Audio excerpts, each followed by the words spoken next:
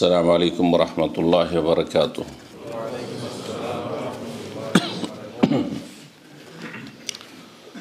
إن الحمد لله نحمده ونستعينه ونستغفره ونعوذ بالله من شرور أنفسنا ومن سيئات أعمالنا من يهده الله فلا مضل له ومن يضلل فلا هادي له۔ وأشهد أن لا إله إلا الله وحده لا شريك له۔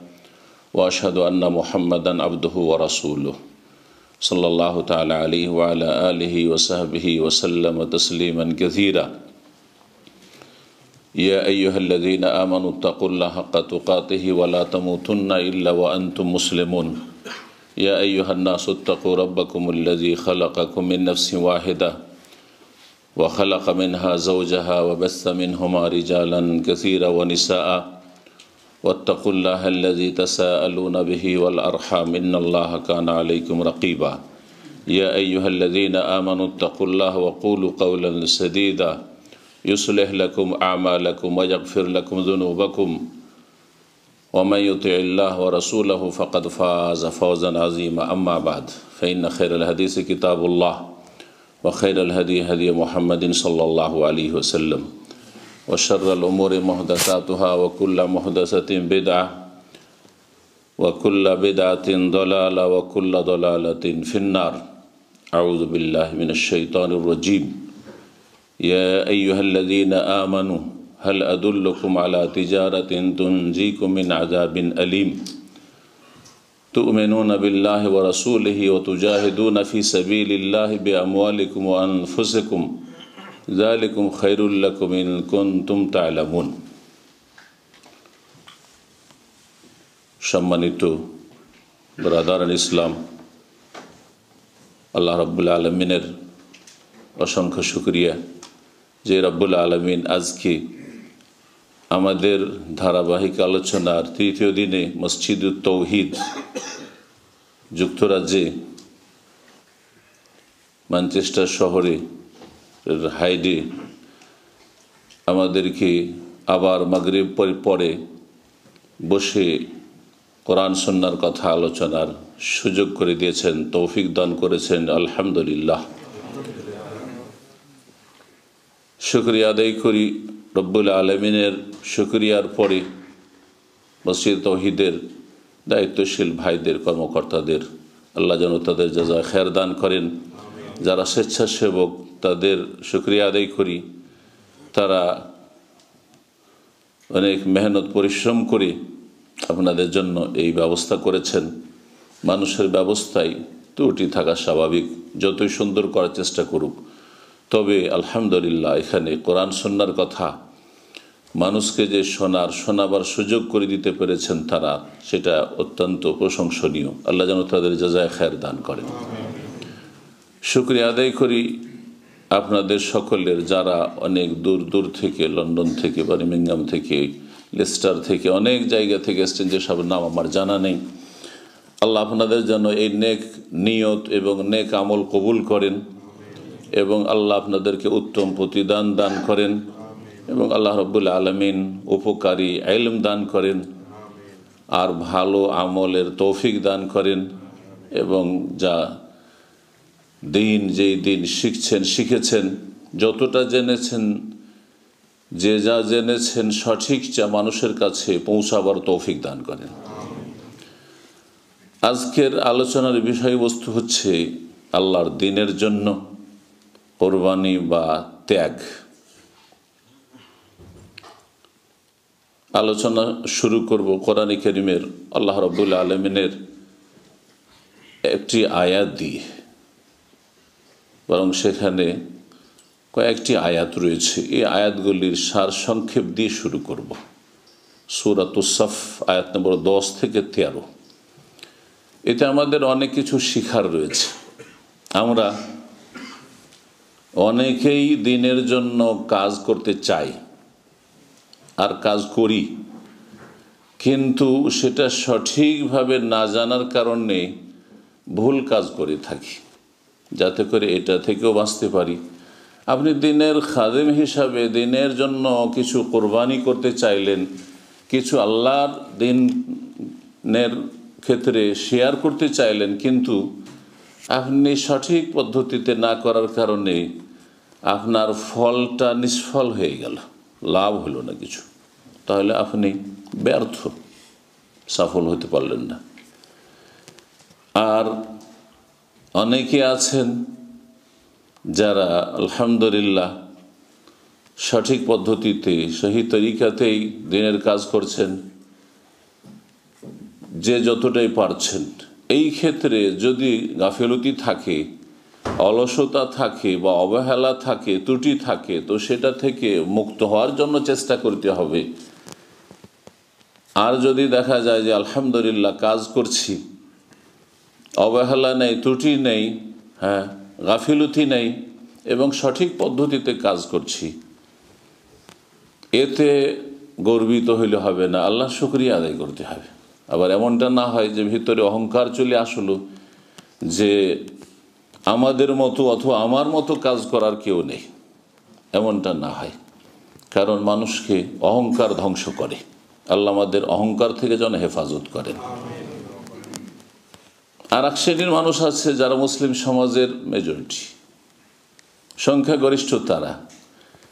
যারা মুসলিম কিন্তু ইসলামের জন্য কিছু কোরবানি করতে প্রস্তুত নয় অল্প সামান্য কিছু লোক দিন ইসলামের কাজে লেগে আছে। কেউ ভুল তরিকায় লেগে আছে, কেউ শহীদ তরিকায় লেগে আছে, কিন্তু অত্যন্ত ধীর গতিতে যেটা দিয়ে কিছু রেজাল্ট ফলাফল পাওয়া যাচ্ছে না। আর অধিকাংশই এমন যারা দুনিয়ার জন্য, দুনিয়ার বিভিন্ন স্বার্থের জন্য অনেক কিছুই কোরবানি করছেন, ত্যাগ স্বীকার করছেন আপনি। অনেকেই এক ডিউটি সেরে আর এক ডিউটি করছেন, কারণ আরও পয়সার প্রয়োজন। রাত, দিন, চব্বিশ ঘণ্টা, স্ত্রীকে সময় দিচ্ছেন না। মোটেই সময় দিচ্ছেন না। যখন বাসায় ফিরে আসছেন, একেবারে এমন ভেঙে পড়েছেন যে ঘুম ছাড়া আর কিছুই বুঝেন না আপনি। ছেলে মেয়েকে মোটেই সময় দিচ্ছেন না আপনি। তাদের তালিম তরবিয়ত, তাদের খোঁজ খবর নেওয়ার সময় নেই আপনার। শুধু কেউ পয়সার জন্য, কেউ আর অন্য অন্য যে দুনিয়ার গরজগুলি রয়েছে, সেগুলি পুরা করার জন্য। যথেষ্ট মেহনত করছেন। এই ক্ষেত্রে যথেষ্ট ত্যাগ স্বীকার করছেন আপনি।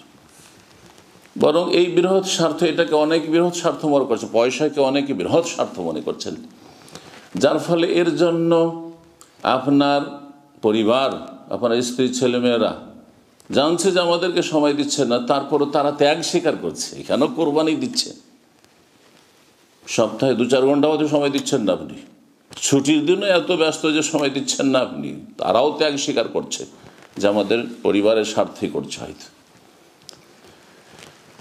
কিন্তু দিনের ক্ষেত্রে কতটা ত্যাগ স্বীকার করছেন এটা দেখার বিষয়, আর সেটা সহি পদ্ধতিতে আছে কিনা এটা দেখার বিষয়। আসুন তাহলে আলোচনা করি।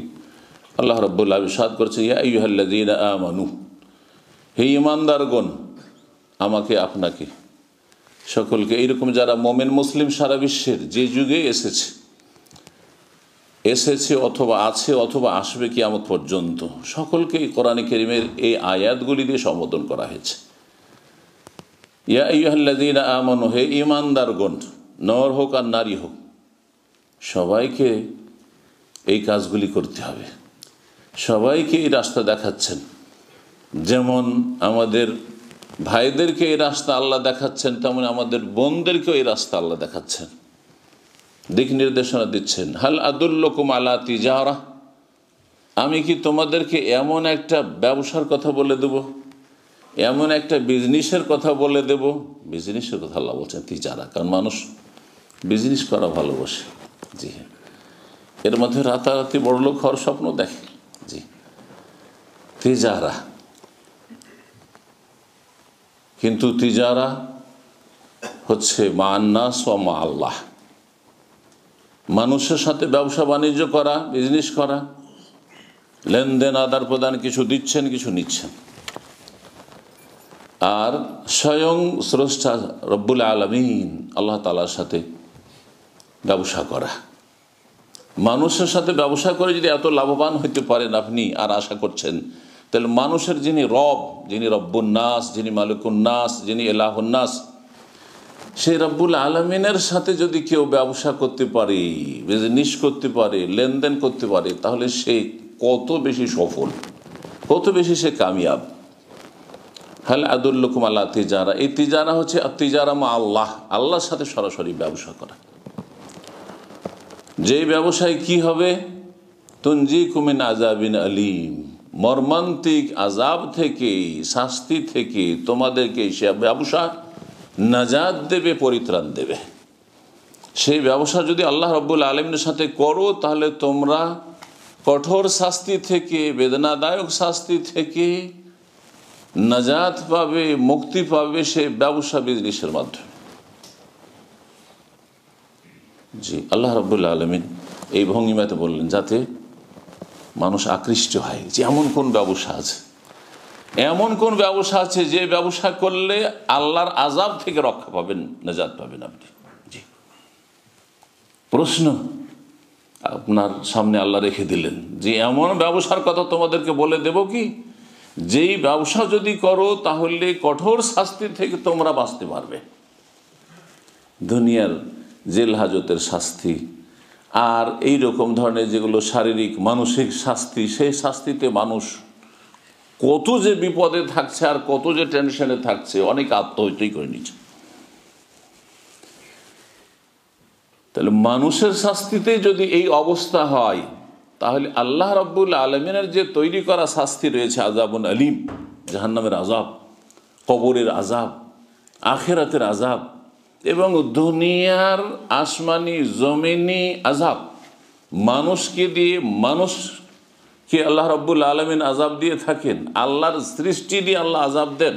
এগুলো হচ্ছে দুনিয়াবি পার্থিব আজাব আজাব উদ্দুনিয়াওয়ালা আখেরা বিশেষ করে যে স্থায়ী আজাব যেটা কন্টিনিউ চলতে থাকবে, আখেরাতের আজাব মতের সাথে সাথে শুরু হবে।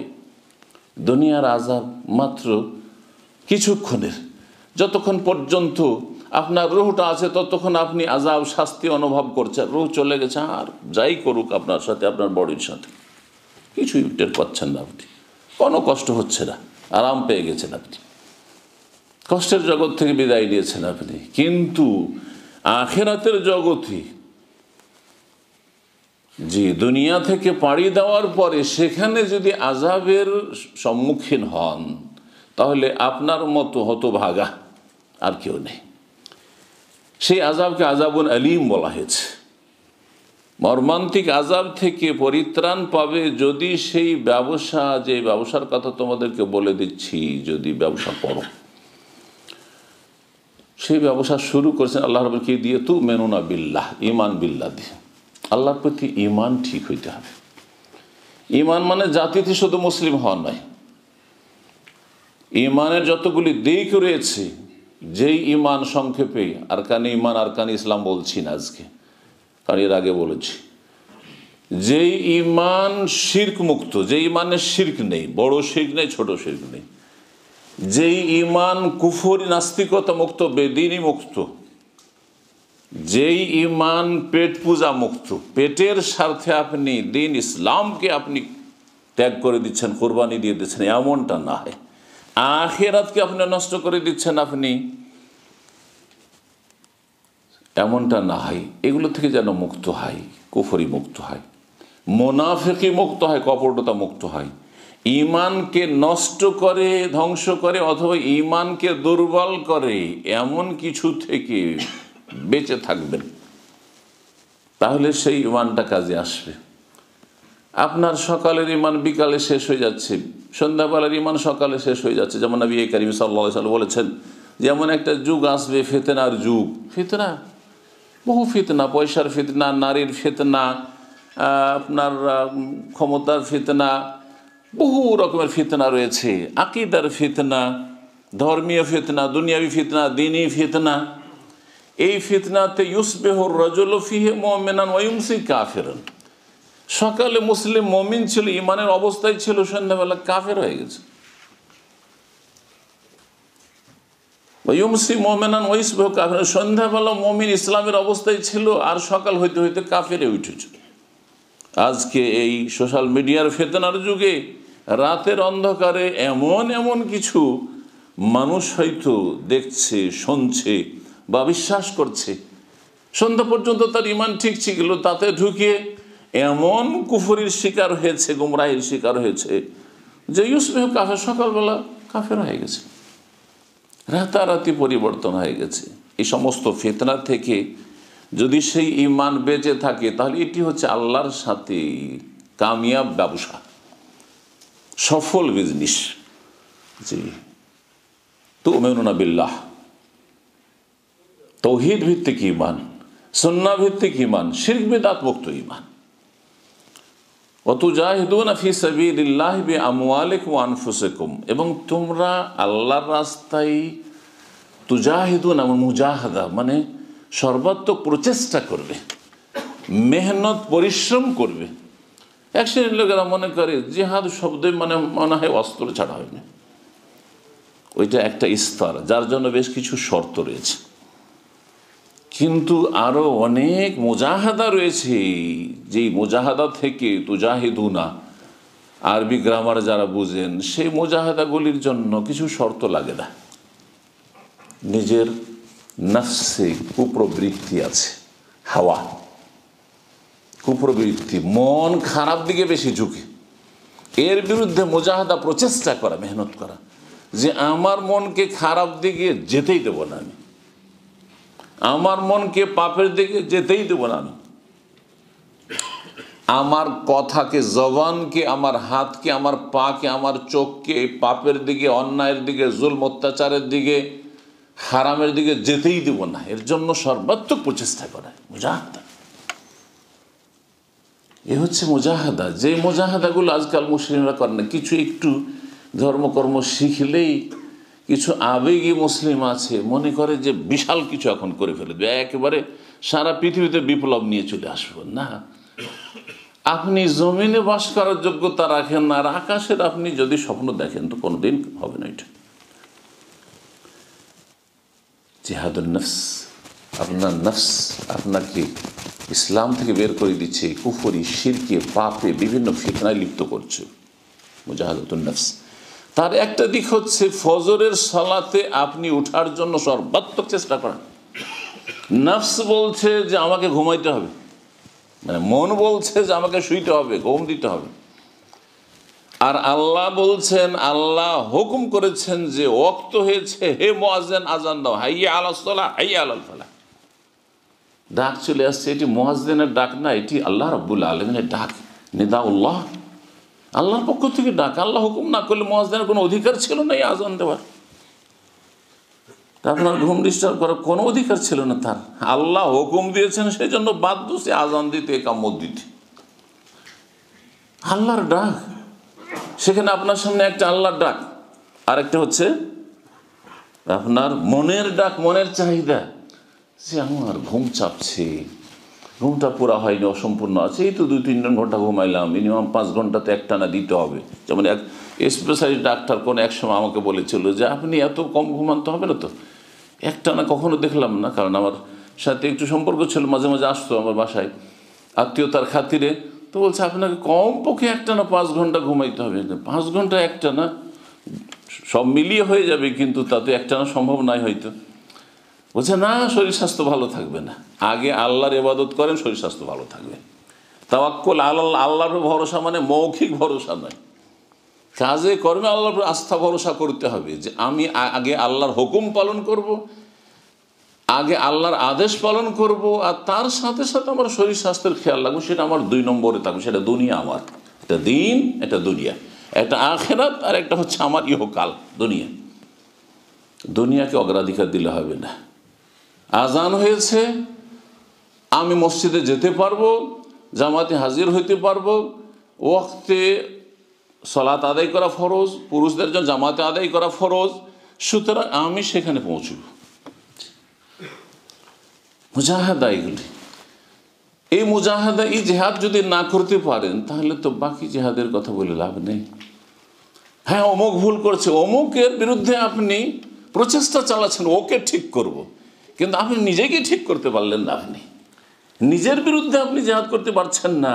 নিজের কুপ্রবৃত্তি যে হাওয়া, তার বিরুদ্ধে আপনি মুজাহেদা জেহাদ করতে পারছেন না। পরের বিরুদ্ধে শুধু ভুল ধরে লেগে আছেন। এই ওই লোক, ওই নামাজ পড়ে না, ওর টাকা নিচে কাপড়, ওর এইটা ঠিক না, আর ওইটা ঠিক না না, আগে নিজেকে ঠিক করুন। এখান থেকে শুরু হবে মুজাহাদা। অত জাহেদুনা ফিসাবিল্লাহ বে আমুয়ালিকুম আনফুসকুম। এখানে দুটো কথা আল্লাহ বলেছেন। মুজাহাদা কিসের দ্বারা করতে হবে? সর্বাত্মক প্রচেষ্টা। কি দিয়ে করতে হবে? এক হচ্ছে আমুয়াল ধন সম্পদ দিয়ে। তাহলে পয়সার প্রয়োজন রয়েছে। পয়সা ছাড়া ইসলামের জন্য প্রচেষ্টা করা সম্ভব নয়। পয়সা ছাড়া না মসজিদ সম্ভব, না মাদ্রাসা সম্ভব, না ইসলামিক সেন্টার সম্ভব না ইসলামের দাওয়ার প্রচার প্রসার সম্ভব দাওয়া ইলাল্লাহ সম্ভব, সব কাজে পয়সা বাইতুল্লাহর হজ সম্ভব না ওমরা সম্ভব, না জাকাত দেওয়া সম্ভব। বহু এবাদত বন্দিকে রয়েছে, ফরজ, নফল, সন্নত, মুস্তাহাব যেগুলিতে পয়সা ছাড়া আপনি এক পা চলতে পারবেন না। বরং আপনি হালাল খাবেন খেয়েই সুস্থ থেকে আপনি সলাত আদায় করবেন। যদি আপনি হালাল রুজির ব্যবস্থা দৈনিক আপনার না থাকে, তো আপনার এই ফরজ সলা তো ঠিক হবে না। পারবেন না আপনি। তো মুজাহাদা বা জিহাদ করতে হবে ধন সম্পদ দ্বারা। আগে এখানে ধন সম্পদের কথা বলেছে। কোন কোন আয়াতে আগে জানের কথা বলেছেন, তারপরে মালের কথা বলেছেন। আর এখানে আগে মাল ধন সম্পদের কথা বলেছেন। এই জন্যই যে ধন সম্পদের বড় একটা ভূমিকা রয়েছে ইসলামের খেদমতের ক্ষেত্রে।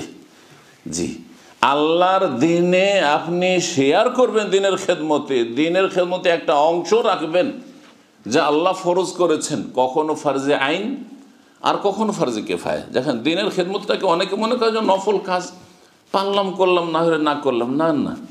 দুটোর একটা অবস্থা হয়, ফার্জে কেফায়া।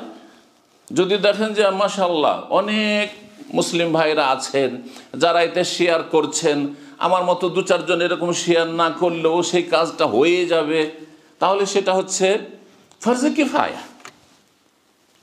জানাজার সলাতের মতো। জানাজার সলাতে পঞ্চাশ, একশো জন হয়ে গেছে। আমি, আপনি দু চারজন না গেলে অসুবিধা নেই। কোনো অসুবিধা নেই।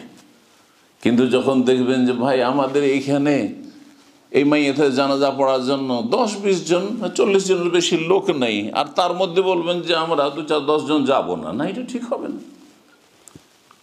আপনাদের সবাইকে যাওয়ার চেষ্টা করতে হবে তখন। কেউ নেই, শুধু এক, দুজন, তিনজন আছেন, তাহলে কোনো ফার্জে আইন হয়ে গেছে। তখন জানাজা পড়া ফার্জে আইন, কারণ আপনি শুধু আছেন, বা আপনার সাথে এক, দুজন আর আছেন। তাহলে সবসময় যে জানাজা পড়া ফার্জে কেফায়া থাকবে, তাও না।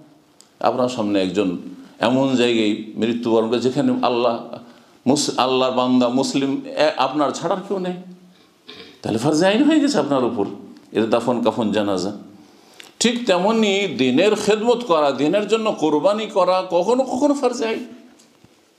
এটা ইসলামী সেন্টার করতে হবে, যেখান থেকে আল্লাহর দিনের দাওয়াতের কাজ হবে। একটি মসজিদ করতে হবে, যেখানে কোরআন সন্না ভিত্তিক মানুষরা সলাৎ আদায় করবে। তার কোনো ব্যবস্থা নেই।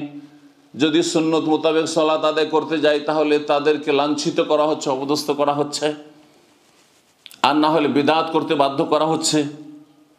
চোখের সামনে বিদাত হচ্ছে, নীরব হয়ে যেতে হচ্ছে, অন্যায় হচ্ছে, প্রতিবাদ করা সম্ভব হচ্ছে না, তার উপর চুপ থেকে যেতে হচ্ছে। এইরকম পরিস্থিতি। তাহলে আপন আর সেই কাজটি করার জন্য আপনার কয়েকজন মিলে আপনি হয়তো বা আপনার মতো কিছু লোক শরিক হলো না, সম্ভব নয় হয়তো সেটা। সুতরাং সেই ক্ষেত্রে আল্লাহর দিনের খেদমতের জন্য ত্যাগ, কোরবানি ফরজে আইন হয়ে যাবে, প্রত্যেকের ফরজ হয়ে যাবে, যে আপনারা সকলে অংশ নেবেন। যেহেতু আপনারা এমন দেশে আছেন যেখানে মুসলিম সংখ্যালঘু, অল্প সংখ্যা রয়েছে। এমন নয় যে বাংলাদেশের জমিনে আছেন, যেখানে নব্বই শতাংশ মুসলিম, সুতরাং সেখানে লক্ষ লক্ষ মুসলিম আছে। কিছু মুসলিম এতে শেয়ার করলে বাকি, ও তো অসুবিধা নেই তো। চলছে ইসলামের কাজ।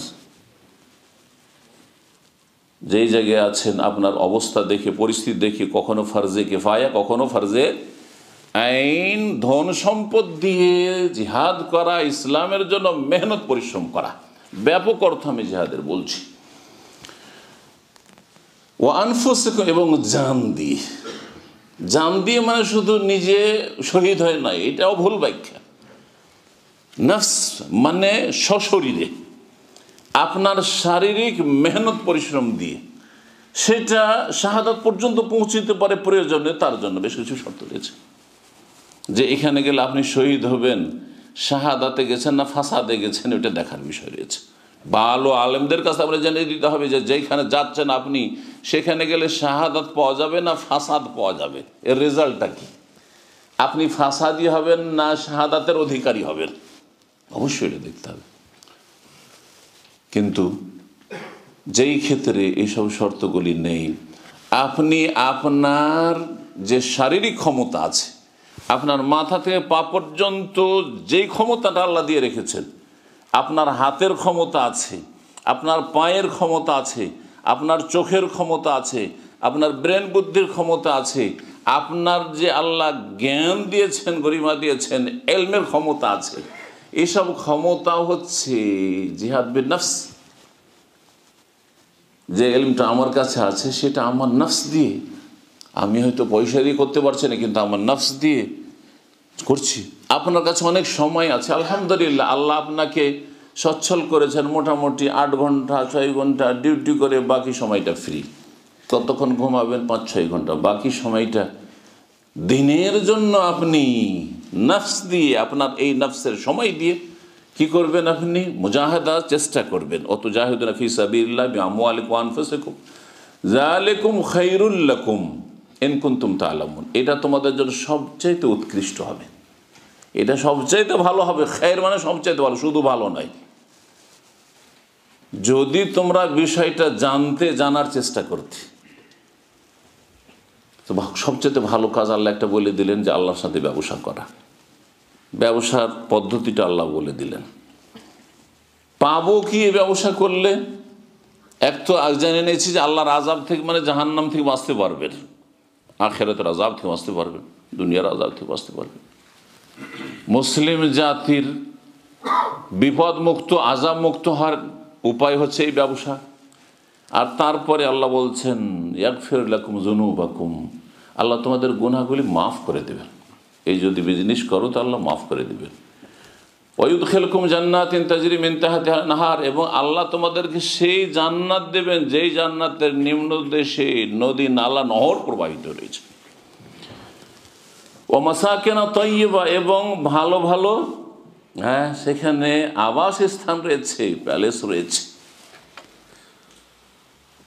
এসব এই জান্নাতের নিয়ামতের কথা বলার পরে স্থায়ী নিয়ামত যেটা তারপরে আল্লাহ বলছেন যে অখরা তহিবোনা আরও একটা বোনাস দেবেন আল্লাহ রব্বুল আলমিন। ওখরা আরও একটা দেবেন। দেখেন, পরে আল্লাহ বয়ান করছেন আর বলছে ওখরা দ্বিতীয় ওখরা মানে দ্বিতীয় বা আরও এক। তহিবোনা কিন্তু সেটা তোমরা বেশি ভালোবাসো। এখানে একটা গুরুত্বপূর্ণ পয়েন্ট আপনাদের হ্যাঁ কে দেওয়ার চেষ্টা করব সেটা হচ্ছে দেখেন, আল্লাহ বলছেন যে এই ব্যবসা করলে টার্গেট আজাব থেকে বাঁচতে পারবে, জাহান্নামের আজাব আর জান্নাত পাবে, তাহলে আমাদের টার্গেট হচ্ছে দখলুল জান্না ও নাজাত মিনান্নার জি, জান্নাতে যাওয়া আর জাহান্নাম থেকে রক্ষা পাওয়া, জি। ফামান জুহজিহা আনিন্নারে ঔদ খেলাল জান্নাত ফাকাদ ফাঁসি জানা বলছেন। মানুষকে মরতেই হবে, আপনাকে, আমাকে সবাইকে মরতে হবে। যদি আল্লাহ জাহান্নাম থেকে আপনাকে সরিয়ে দেয়, আর জান্নাত দিয়ে দেন, তাহলে ফাকাদ ফাজ, আপনি সাকসেস হয়ে গেলেন, সফল হয়ে গেলেন। কামিয়াব। তাহলে আমাদের মুখ্য টার্গেট মুসলিম জীবনে বা ইসলামিক জীবনে হচ্ছে কি? জান্নাত জান্নাত। এই টার্গেট থেকে ভুল ইসলামের ব্যাখ্যার কারণে বা ইসলাম ভুল বুঝার কারণে মানুষ সরে গিয়ে যেটা মুখ্য টার্গেট টার্গেট সেটাকে ভুলে গিয়ে অথবা সেই সম্পর্কে গাফেল হয়ে সেটা আর চাইতে বেশি গুরুত্ব দিয়েছে কোনটাকে? এ ওখরাকে। ও ওখরা তহিব্বুনা। আল্লাহ বলছেন আরও একটা লাভ আছে এই বিজনেস করলে, যেটা তোমরা পছন্দ করো। তাহলে মানুষের স্বভাব হচ্ছে কিছু পছন্দ করা, যেটা অত গুরুত্বপূর্ণ নয়। যত গুরুত্বপূর্ণ জান্নাতে যাওয়ার জাহান্নাম থেকে বাঁচা। কিন্তু মানুষের স্বভাব জান্নাত, ও চোখের আড়ালে অনেক দূরে। জাহান নামের আজাব চোখের আড়ালে যা কোনোদিন দেখি না, শুধু পড়েছি, কোরআন, হাদিসের কথা শুনেছি চোখের আড়ালে পর্দা পড়ে আছে। কিন্তু নগদ নগদ মিষ্টি মিষ্টি কিছু চোখের সামনে দেখতে পাচ্ছি, হাত ছাড়া হয়ে যাচ্ছে, অন্যরা নিয়ে যাচ্ছে। অন্যরা নিয়ে যাচ্ছে। আমার হাতে লাগল না, আপনার হাতে আসলো না। তহিব্বু না, সেটা তোমরা খুব লাইক করো, খুব পছন্দ করো। কি? নাসরুম মিন আল্লাহ আল্লাহর সাহায্য নেমে আসুন আল্লাহর সাহায্য মুসলিমদের জন্য নেমে আসুক। এটা আপনারাও চাইবেন আমিও চাইব, সবাই চাইবে, কারণ এটা আমার প্রকৃতি। আল্লাহ বলছে তহিব্বু না মানে আমার প্রকৃতি যেটা আছে, আপনার একজন মানুষ হিসাবে প্রকৃতি আছে যে আমরা সাহায্য প্রাপ্ত হই। আমাদের উপর কেউ না থাকে। অফাথন করিব এবং আসন্ন বিজয়, বিজয়ী হওয়া। আমরা উপরে থাকব, আমরা বিজয়ী থাকব, অন্যরা পরাজিত হবে, আমরা বড় থাকব, অন্যরা ছোট হবে। জি, কিন্তু তার জন্য কিছু কর্মসূচি আছে কর্মসূচি আছে, সেই কর্মগুলি ঠিক থাকতে হবে। আর সেটা মুখ্য টার্গেট নয়, মুখ্য টার্গেট কথা বললাম। এখানে এই গুরুত্বপূর্ণ বিষয়টি এই জন্য বললাম, যাতে করে আমাদের মানহাজের সালাফের আলোচনা মানহাজের সালাফের সাথে আজকের আলোচনা সম্পর্ক আছে, এটা উপলব্ধি করেন। এই ক্ষেত্রে মানহাজ, সালাফের মানহাজের ক্ষেত্রে অনেকে বিভ্রান্তির শিকার হয়েছে। জান্নাতের কথা, জাহান্নামের কথা ঠিক আছে, বিশ্বাস আছে, আমি বলব না যে বিশ্বাস নেই। কিন্তু মুখ্য উদ্দেশ্য সেটা না, মুখ্য উদ্দেশ্য হচ্ছে যে কেমন করে আমরা কি করব, বিজয়ী হব। কেমন করে আমরা বিজয়ী হব? হ্যাঁ এটা আপনি পছন্দ করেন, আমিও পছন্দ করি। কিন্তু তার জন্য বেশ কিছু শর্ত কোরআন রয়েছে। ওয়ান্তুমুল্লাহ আল্লাহ কুন্তু মমিন ওপরে থাকবে কিন্তু মমিন হইতে হবে। তারপর আল্লাহ দেবেন তোমাদেরকে, এই নিয়ামত কিন্তু ইয়াবুদুন আনি লায়ুশরেকুন আবি সাইয়া আমার এবাদত করবে শির করবেন আপনি শিরকও ছাড়বেন না, বেদাতও ছাড়বেন না, ঠিক করে এবাদতও করবে না, ফজরের সলাতের গুরুত্ব নেই। আর আপনি স্বপ্ন দেখছেন বড় বড়, যে আমাদের হাতে সেই বিজয়টা আসুক, অন্যরা কেন নিয়ে যাচ্ছে? না না, এটা মানহাজ ভুল, এটা সালাফদের মানহাজ নয়। সালাফরা ব্যক্তি জীবনের ইসলাম থেকে শুরু করেছেন। আমি আমাকে ঠিক করব, আমার পরিবার ঠিক করব, আমার কাছে যারা আছে, এখানে যখন আমি থাকব আপনার আমার কাছে থাকবেন। কিন্তু আমি যখন আমার জায়গায় চলে যাব, যেখানে, সেখানে যাদের পাবো। লেতুন জেরা ওম্মাল কোরা ওমান হাউলাহা। আল্লাহ রসুল্লাহ সাল্লাম বলছেন এমন কি যিনি সারা বিশ্বের মানুষের জন্য আমি, আপনি তো সারা বিশ্বের জন্য আসেনি যে আমার কথা সারা বিশ্বের মুসলিমদেরকে পৌঁছাইতে হবে, জরুরি নয়। কিন্তু রসুল্লাহ আসলামকে সারা বিশ্বের মানুষের জন্য আল্লাহ পাঠাচ্ছে রহমতুল্লাহ আলমিন কাফাত আলিনাস তারপরে কি বলছেন?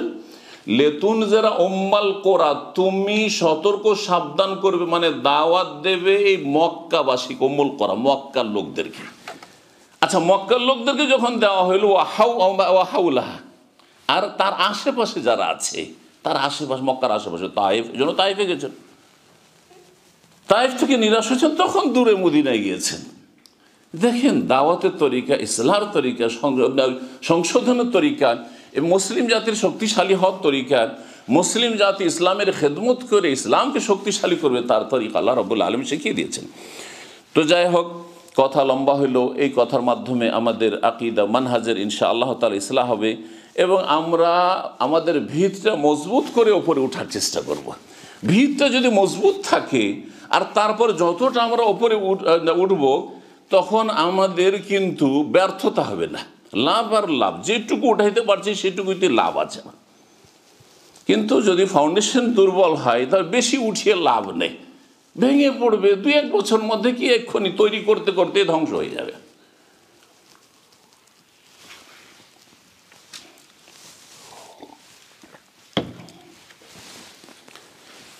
সময় এগিয়ে চলে যাচ্ছে। কথা বললে অনেক কথাই চলে আসে। তাহলে এখন সরাসরি আমরা শুরু করি যে আমরা যে দিনের খেদমতে কোরবানি করব, ত্যাগ স্বীকার করব, সেই কোরবানিগুলি কি ধরনের হবে? যে কোরবানি আপনাকেও করতে হবে, আপনার জায়গা থেকে আমাকেও করতে হবে। আপনার যোগ্যতা আর আমার যোগ্যতা ভিন্ন। আমি যেই কোরবানিটা হয়তো করতে পারব, সেটা আপনি পারবেন না বা আপনারা পারবেন না। আর আপনারা আপন আপন জায়গায় যেই যেই কোরবানিগুলি হয়তো করতে পারবেন, সেটা আমার দ্বারা সম্ভব না। এমন নয় যে আমি আপনাদের সবগুলি কাজ করতে পারব, অসম্ভব কথা। আল্লাহ এই যোগ্যতা কোনো মানুষকে দেননি, একমাত্র সৈয়দুল মুরসালিন, খাতামুন নবীন মোহাম্মদ রসুল্লাহ সাল্লাম ছাড়া। জি হ্যাঁ। তার মধ্যে আল্লাহ সব রকমের ক্ষমতা দিয়েছেন, কিন্তু আমার মধ্যে যে ক্ষমতা আছে সেটা আপনাদের মধ্যে নেই। আপনাদের মধ্যে যে ক্ষমতা আছে সেটা আমার মধ্যে নেই। সুতরাং ওয়াতাওয়ানো আলাল বীররে ওয়াত্তাকওয়া, নেকির কাজে, আল্লাহ ভীরুতার কাজে একজন অপরজনের সহযোগী হবে, সাহায্য করবে। ওয়ালা তাওয়ানু আলাল ইসমা আল উদওয়ান, আর গোনহার কাজে, আর সীমা লঙ্ঘনের কাজে, অন্যায়ের কাজে, বাড়াবাড়ির কাজে, অবিচার জুল অত্যাচার কাজে কেউ কারও সাহায্য করিও না। যদি আপনি জানেন, আপনার ইমান একদিন প্রথম ঠিক হয়ে যায় যে কাজ যেটা হচ্ছে সেটা গঠনমূলক হচ্ছে, যে কাজটা হচ্ছে তৌহিদ ভিত্তিক হচ্ছে যে কাজটা হচ্ছে সন্ন্যাভিত্তিক হচ্ছে, শিরিক, বেদাত মুক্ত হচ্ছে, যেই কাজটা হচ্ছে মাশাল্লাহ কোরআন সন্ন্যার আলোকে হচ্ছে, তাহলে এই ক্ষেত্রে আপনার সহযোগিতা হচ্ছে আলাল বীর্রে ওয়াত্তাকওয়া নেকির কাজের জন্য সহযোগিতা, আল্লাহ ভীরুতার কাজে সহযোগিতা, এটা অবশ্যই করতে হবে আল্লাহ রব্বুল আলমিনের, এটি হচ্ছে হুকুম। প্রথম যে কোরবানি আমরা করব, যে সবচেয়ে উত্তম কোরবানি বা উত্তম ত্যাগ স্বীকার করা, সেটা হচ্ছে এলমের দ্বারা, জ্ঞানের দ্বারা। এলমের দ্বারা যেই কোরবানিটা একজন মুসলিম করতে পারে, আল্লাহর দিনের জন্য, আল্লাহর জন্য, ইসলামের জন্য, মুসলিম অম্মার জন্য, সেটা অন্য কোনো কিছু দিয়ে হইতে পারে না। এলমের বিকল্প কিছু নেই। আল্লাহ শেখ হোসেন রহমতুল্লাহ আলী তার একটি কিতাব আছে এলমের উপর। তো সেই কিতাবে তিনি অনেকগুলি পার্থক্য লিখেছেন, জি হ্যাঁ এলমে আর মালে। আল এলম অল মাল। একদিকে এলম, একজনের কাছে এলম আছে, দিনের জ্ঞান আছে, আরেকজনের কাছে পয়সা আছে। পয়সা দিয়েও কাজ করতে পারে আর এলএম দিয়েও কাজ করতে পারে। দুটোতে অনেক পার্থক্য রয়েছে। তার মধ্যে একটি শুধু বলছি যার কাছে এলম আছে, এলম তার বডিগার্ড হবে। এলম তার হেফাজত করবে। আর যার কাছে পয়সা আছে, তার হেফাজতের যে প্রয়োজন হবে, তার হেফাজতে আর কাউকে লাগাইতে হবে। বড় বড় পয়সাওয়ালা একা বেরোতে পারবে না, তাই না? ওর সিকিউরিটির জন্য বডিগার্ড লাগাইতে হবে। আর এলম যদি থাকে, তো এলম যার আছে সেই এলম তার হেফাজত করবে। দিন দুনিয়ার ক্ষেত্রে হেফাজত করবে আর সবচেয়ে বড় হেফাজত হচ্ছে দিনই ফিতনা থেকে হেফাজত করা। যার কাছে কোরআন সন্ন্যার সঠিক জ্ঞান আছে, সেই ব্যক্তিকে শয়তান স্বীকার করতে পারবে না। শয়তান স্বীকার করতে পারবেন না, সহজ না। জি। তারা হচ্ছে মুখলাসিন। তাদের সম্পর্কে নিরাশ শয়তান তখনই হয়েছে, পারব না ওদেরকে। কিন্তু যার কাছে পয়সা আছে, পয়সার কারণে হঠাৎ করে ভোগ বিলাসী হয়ে গেল, হঠাৎ করে ফেতনায় পড়ে গেল হঠাৎ করে কোনখান থেকে কোনখানে চলে গেল, ধার্মিক ছিল। তারপরে হঠাৎ করে কি থেকে কি হয়ে গেল? জি, পয়সার ফেতনা বড়ই ফেতনা, দুনিয়ার ফেতনা বড়ই ফেতনা। তো বলছিলাম যে, এলমের কোরবানি, এখন এলমের কোরবানির মানে এই নয় যে আপনার কাছে এলেম আছে, দেবেন এটাই কোরবানি। তার একটা দিক হচ্ছে, তাহলে তো যার কাছে এলেম আছে সেই কাজটা করতে পারে। আপনারা তো করতে পারবেন না, কিন্তু আপনাদেরকেও একটা রাস্তা, ফর্মুলা দিচ্ছি যে এলমের ক্ষেত্রে আপনারাও কোরবানি করতে পারবেন, ত্যাগ স্বীকার করতে পারবেন। ইসলামের জন্য ত্যাগ করতে পারবেন, সেটা হচ্ছে এলেম শিখা। যার কাছে এলেম নেই অথবা কম আছে, সে শিখবে। হ্যাঁ? বাড়াবার চেষ্টা করবে, এলিম শিখা। তাহলে আপনি ইসলামের জন্য ত্যাগ স্বীকার করবেন, কোরবানি করবেন, আপনার এলেম দিনই জ্ঞান অর্জন করার মাধ্যমে। তাহলে বলে এলমে ফারিজাতুন আল্লাহ করলে মুসলিম। দিনের আলোচনা হচ্ছে, আর আপনি একটা দিন ডিউটি অফ করতে পারছেন না। একটা দিন আপনি আপনার দুনিয়ার কাজ, আরে বাচ্চাদের স্কুল আছে তাড়াতাড়ি তাদেরকে শুয়াইতে হবে সেই জন্য থাক দিনের কথা। আর শোনার সুযোগ নাই, শিখার সুযোগ কত বড় নিয়ামত থেকে বঞ্চিত হলেন। কি ত্যাগ স্বীকার করলেন আপনি? কি ত্যাগ স্বীকার করলেন? প্রতিদিন রাত নয়টায় হয়তো বাচ্চারা ঘুমাইতো, আজকে না হয় এগারোটাই হইল হ্যাঁ বা দশটা হইল বা হয়তো তাদেরকে বলে চলে আসলেন তারা সময় মতো ঘুমিয়ে যাবে। আমি এই ক্ষেত্রে কোরবানি করব ইসলামের জন্য এলএম শিকার ক্ষেত্রে কোথায়? দু চার দিন যদি ডিউটি না করি, তাহলে আমার স্যালারি কাটবে, আর কি হবে? আমি পারমিশন নিয়ে নেব উইদাউট স্যালারি ঠিক আছে? না না না না, ভাই, পয়সার আগে দরকার, পয়সাটা ঠিক রেখে যদি আমি কোনো অফ ডে পাই, তাহলে আমি দিন শিখতে যাব। তাহলে আপনি কোরবানি দেওয়ার যোগ্যতা রাখেন না। আপনার মধ্যে সেই কোরবানি দেওয়ার যোগ্যতা নেই। দুনিয়ার কাজ আগে, এলেম শিখা পরে। সময় বাঁচলে চলেন, শেষখানে একটু যাই শেখেন না প্রশ্ন উত্তর একটু শুনি। এটা আজকের উদাহরণ দিয়ে বললাম। চলেন একটু শেষখানে গিয়ে হাজির হয়ে যায় তাহলে আপনার মধ্যে কোরবানি দেওয়ার যোগ্যতা নেই। এলম শিখার ক্ষেত্রে কোরবানি দেওয়ার যোগ্যতা হইতে হবে মধ্যে আগ্রহ থাকতে হবে যে আমি কোরবানি দেব। জি হ্যাঁ। তারপরে এলেম শিখে কি জন্য? আমল করার জন্য। আমল করার ক্ষেত্রে কোরবানি দিতে হবে। এলেম শিখেছেন কিন্তু আমল করতে পারছেন না। অনেকে জানছেন যে এটা শির কিন্তু শির থেকে সতর্ক করতে না না ভাই। ওরা অসন্তুষ্ট হয়ে যাবে বললে। সমাজের লোক সব হচ্ছে ওই শির কলা দল। সুতরাং একটা কথা বলছেন না আপনি।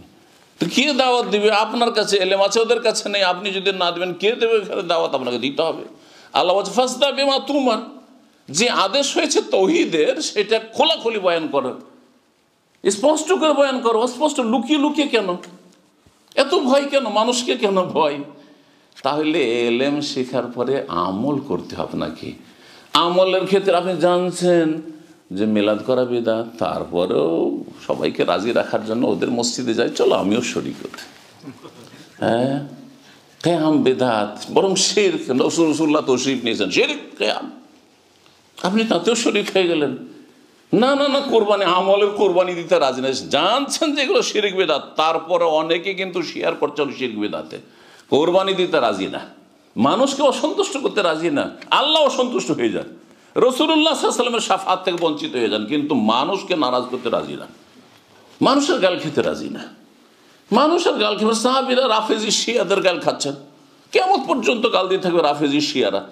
এই দিয়ে আল্লাহ রাস্তা খুলে দিয়েছে সাহাবাই কেরামদের জন্য যে তাদের কাছে নেকি পৌঁছিতে থাকে। সুন্দর একটা রাস্তা সালাফেরা বলেছেন আল্লাহ পয়দাই করেছেন শিয়াদেরকে এই জন্য যাতে করে সালাফদের কাছে, সাহাবাই কেরামদের কাছে নেকি পৌঁছিতেই থাকে এই রাস্তা দিয়ে।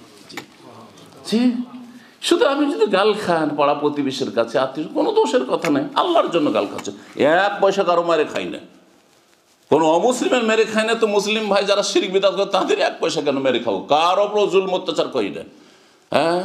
কারোর সাথে অন্তরে দুশ্মনী রাখি না। যা কিছু করি আল্লাহর জন্য, দিনের জন্য। তারপরে কেউ গাল দেয় অসুবিধা নেই। লিল্লা সেটা। কোরবানি আমলের দিতে আমল করতে হবে। জানছেন এটা ফরজ, এটা সন্ন্যাত তারপর করছেন না।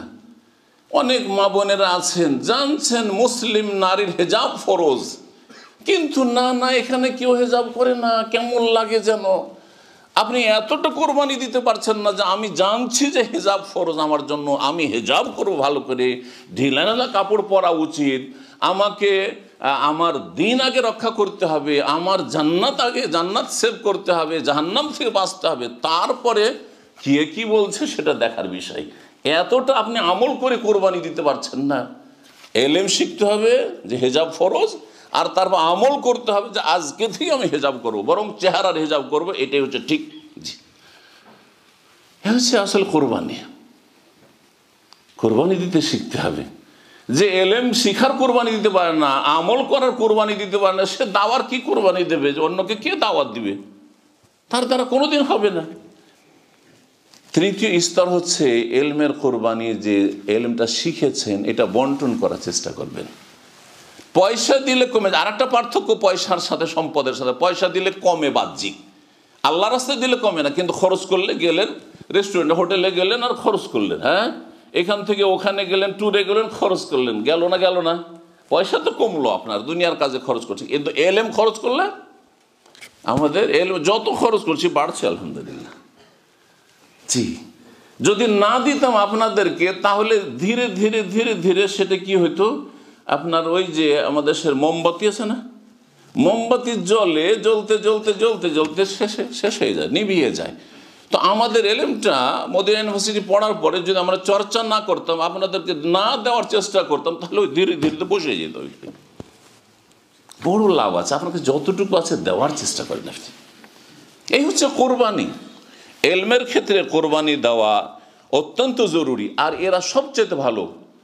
খৈরকুমান তা আল্লামাল কোরআনা ও আল্লামা। হয় কোরআন শিখেন, এর মাধ্যমে কোরবানি দেন। সময় দেন আল্লাহর দিন কোরআন করিম শেখার জন্য। সুন্নাত হাদিস শেখার জন্য।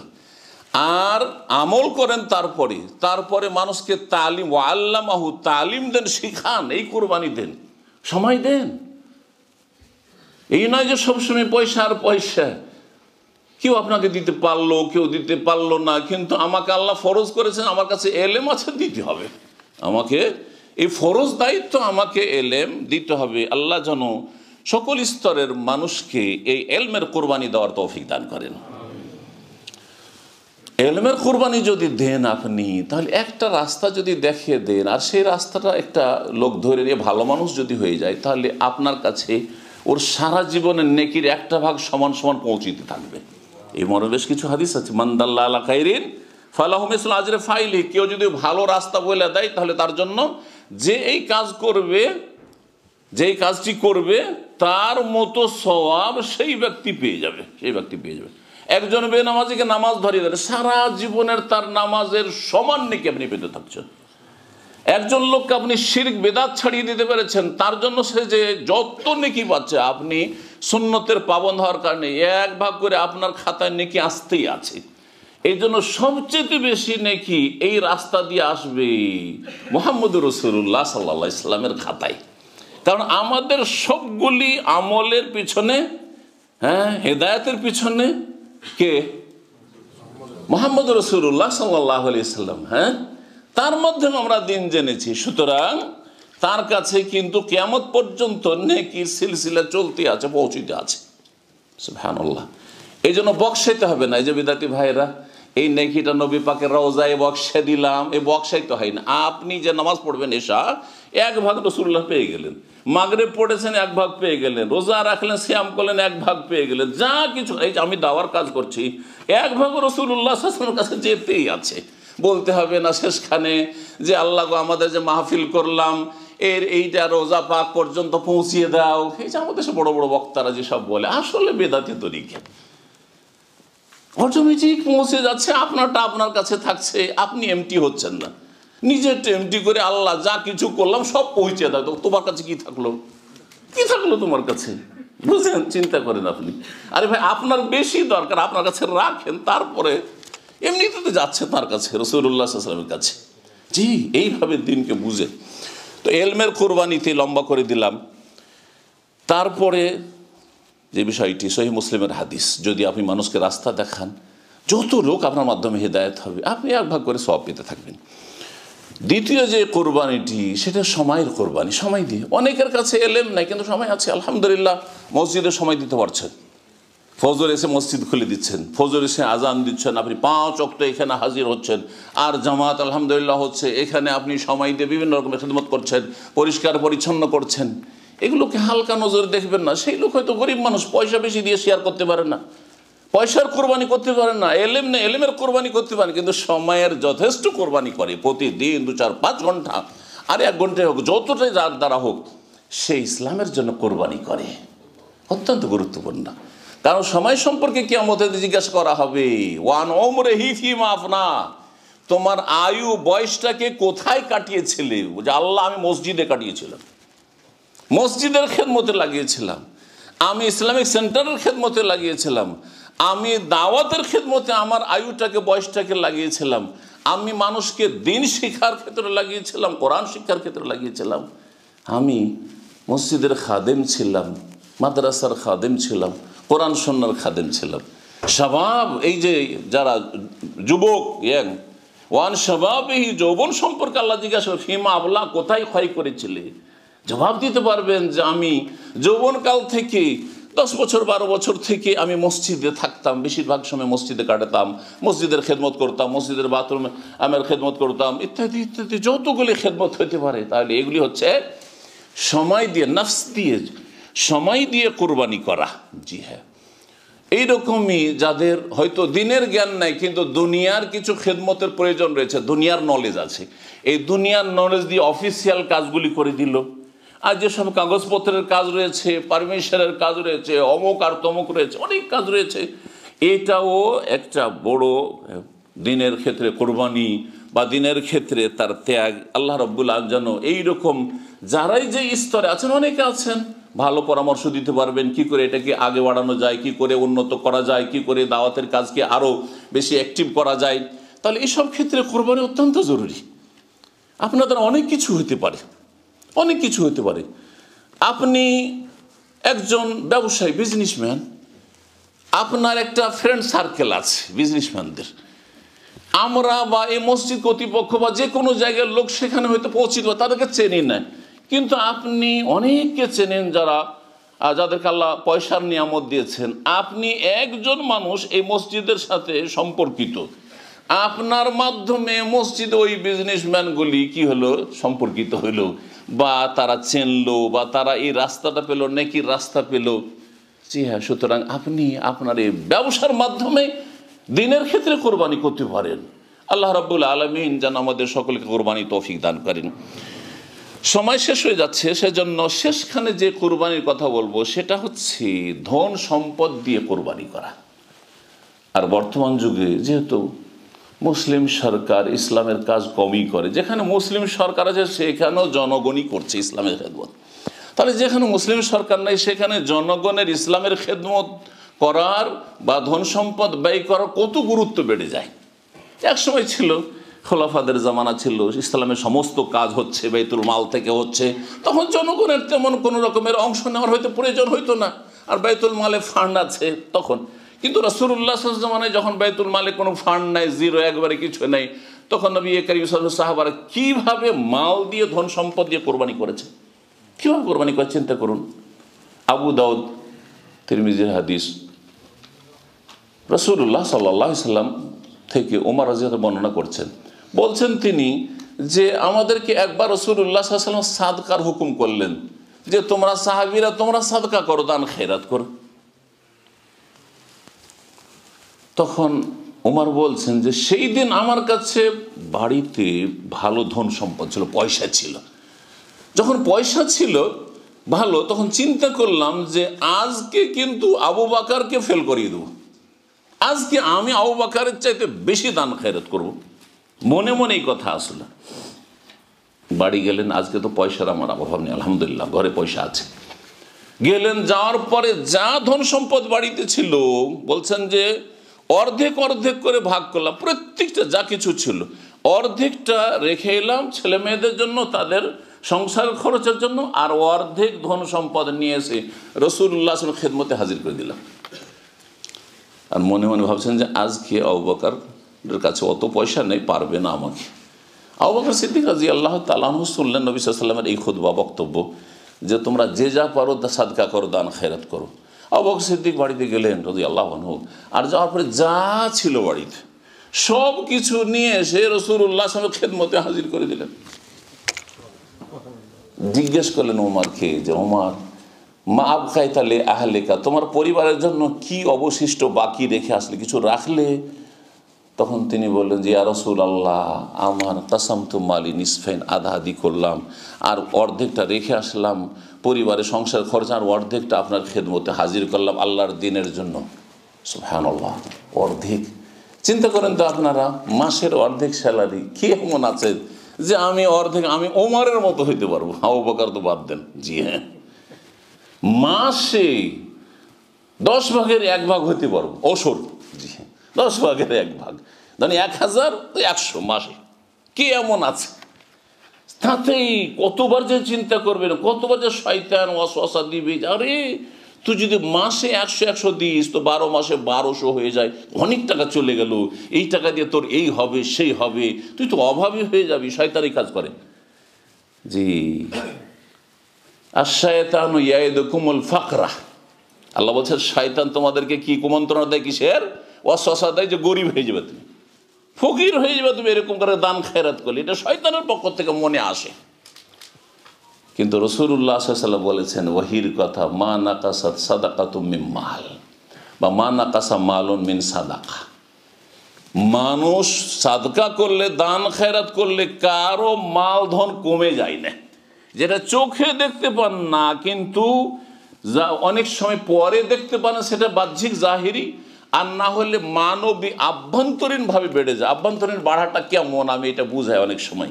দেখেন, একটা লোকের অল্প ইনকাম আছে, কিন্তু তার রোগ নেই, তার স্ত্রী, তার ছেলেমেয়ের কোনো বালা মুসিবত নেই। এক পয়সা চিকিৎসা বাবদ খরচ হয় না, কোনো খরচ হয় না। আর আর একজনের লাখ লাখ ইনকাম আছে, কিন্তু লাখ লাখ টাকা কোথায় দিয়ে আসতে? হাসপাতালে দিয়ে আসতে হয়। এই অপারেশন, সেই অপারেশন, এই মুসিবত, এই সেই মুসিবত, আর অ্যাক্সিডেন্ট দুর্ঘটনা, আর শেষ নেই বালা মুসিবতের। ছিঁড়া পকেটের মতো অনেক টাকা ঢুকাচ্ছে, কিন্তু ছিঁড়া পকেট দিয়ে সব পড়ে যাচ্ছে। এটা হচ্ছে বরকত আর বরকত না থাকার পার্থক্য। তো আপনার জীবনে এমন বরকত আসবে, সাদাকা করলে যে ধন সম্পদ কমবে না রসুল্লাহ বলেছেন। বরং কোরআন আল্লাহ বলেছেন ওমা আনফাক তুমিন ফাহুয়া যা কিছু তুমি খরচ করবে, আল্লাহ সেটার বিকল্প দেবেন। আশা করি বিকল্প বুঝবেন হ্যাঁ? অল্টারনেট দেবেন আল্লাহ রবুল আলমের জি হ্যাঁ। সেটা চলে যাবে না, গেল, আবার চলে আসে না। এইরকম হজের ক্ষেত্রে পরীক্ষা করে দেখছে, হজে ওমরাতে দিনের খেদমতে খরচ করে, যেটা খরচ করলেন, বিকল্প চলে আসবে। কোন দিক থেকে আসবে, সেটা বাহ্যিক জাহিরি আসবে, অথবা বাতিনি আভ্যন্তরীণভাবে আসবে, সেটা আপনি পরে বুঝতে পারবেন আপনার ইমানি দৃষ্টি দিয়ে। আপনার চোখের দৃষ্টি দিয়ে হয়তো বুঝতে পারছেন না, কিন্তু অন্তর্দৃষ্টি দিয়ে যখন ইমানের দৃষ্টিভঙ্গি থেকে দেখবেন, তখন বুঝতে পারবেন, আলহামদুলিল্লাহ, আমার রুজিত আল্লাহ বরকত দিয়েছেন, আমার ছেলে মেয়েগুলো সহজে মানুষ হয়ে গেল, আমার ছেলে মেয়েগুলো যেইভাবে মানুষ হলো, অন্য লোক করতেই পারছে না, অনেক পয়সা খরচ করে, এগুলো কোথেকে আসলো? এগুলো হচ্ছে বারাকা বারাকা। ওই যে আল্লাহ যে আপনার মধ্যে বরকত দিয়েছেন আপনার বিভিন্ন রকমের নেক আমলের কারণে, তার মধ্যে একটি হচ্ছে সাদকা খেরাত তো বলছিলাম যে ধন সম্পদ দিয়ে কোরবানি করতে হবে। একটি হাদিস বললাম, হাদিসটা শেষ হয়নি। আবু বাকর সিদ্দিক রাজি আল্লাহ তালানকে রসুল জিজ্ঞেস করলে আবু বাকার হ্যাঁ মা তারাক্তালে আহলেকা, তোমার পরিবার যেন কি রেখে আসলে? বলে তারাক তারাক্তুল্লাহমুল্লাহ রাসুল্লাহ ওদের জন্য আল্লাহকে রেখে আসলাম আর রসুল্লাহ সাল্লামকে রেখে আসলাম। সোফানুল্লাহ মানে সব নিয়ে চলে এসেছি। বাড়ি, কি জন্য নিয়ে এসছি? আল্লাহকে রেখে আসবেন আল্লাহ সন্তুষ্টির জন্য। আর রসুল্লাহ সাল্লাহ সাল্লামের হুকুম পালনে যে তিনি সাদকা করতে বলেছেন, যা আছে তাই সাদকা করি আমি। এই হচ্ছে কোরবানি। জি। তারা সবচেয়ে বেশি সম্মানিত রসুল্লাহের পরে, তাই না? সবচেয়ে বেশি যদি কেউ মুসলিম হিসাবে নাম নেই রসুল্লাহ পরে পরে তো আবু বকর, উমর, ওসমান, আলীর নাম নেবে। নেবে না? কিন্তু আপনার কোটি কোটি টাকা থেকেও আপনার নাম মরার পরে আপনার আত্মীয়রাও নেবে না। পয়সা, ধন সম্পদ, টাকা পয়সা সব ভাগ করে নেবে, জমি জায়গা ভাগ করে নেবে। আর কিছুদিন পরে ভুলেই যাবে আমার দাদা ছিল কি রে, দাদি ছিল কি মা ছিল, বাপ ছিল, ভুলেই যাবে। সাদকাও করবে না হয়তো প্রয়োজন এই জন্য পরের সাদকার ইন্তজারে থাকেন, আপনি নিজে সাদকা করে যান। অনেকে মনে করে আমার ছেলেরা আমার জন্য সাদকা করবে, বক্সাবে। না, ভুল কথা এটা। পরের আশা করে যাবেন না আপনি, যতটা পারে নিজেই করে যান আপনি। নিজেই সাদকা জারিয়া করে যান, এমন সাদকা করেন যার নেগিটা কন্টিনিউ হয়, চলতে থাকে। এইরকম সাদকা করার চেষ্টা করেন।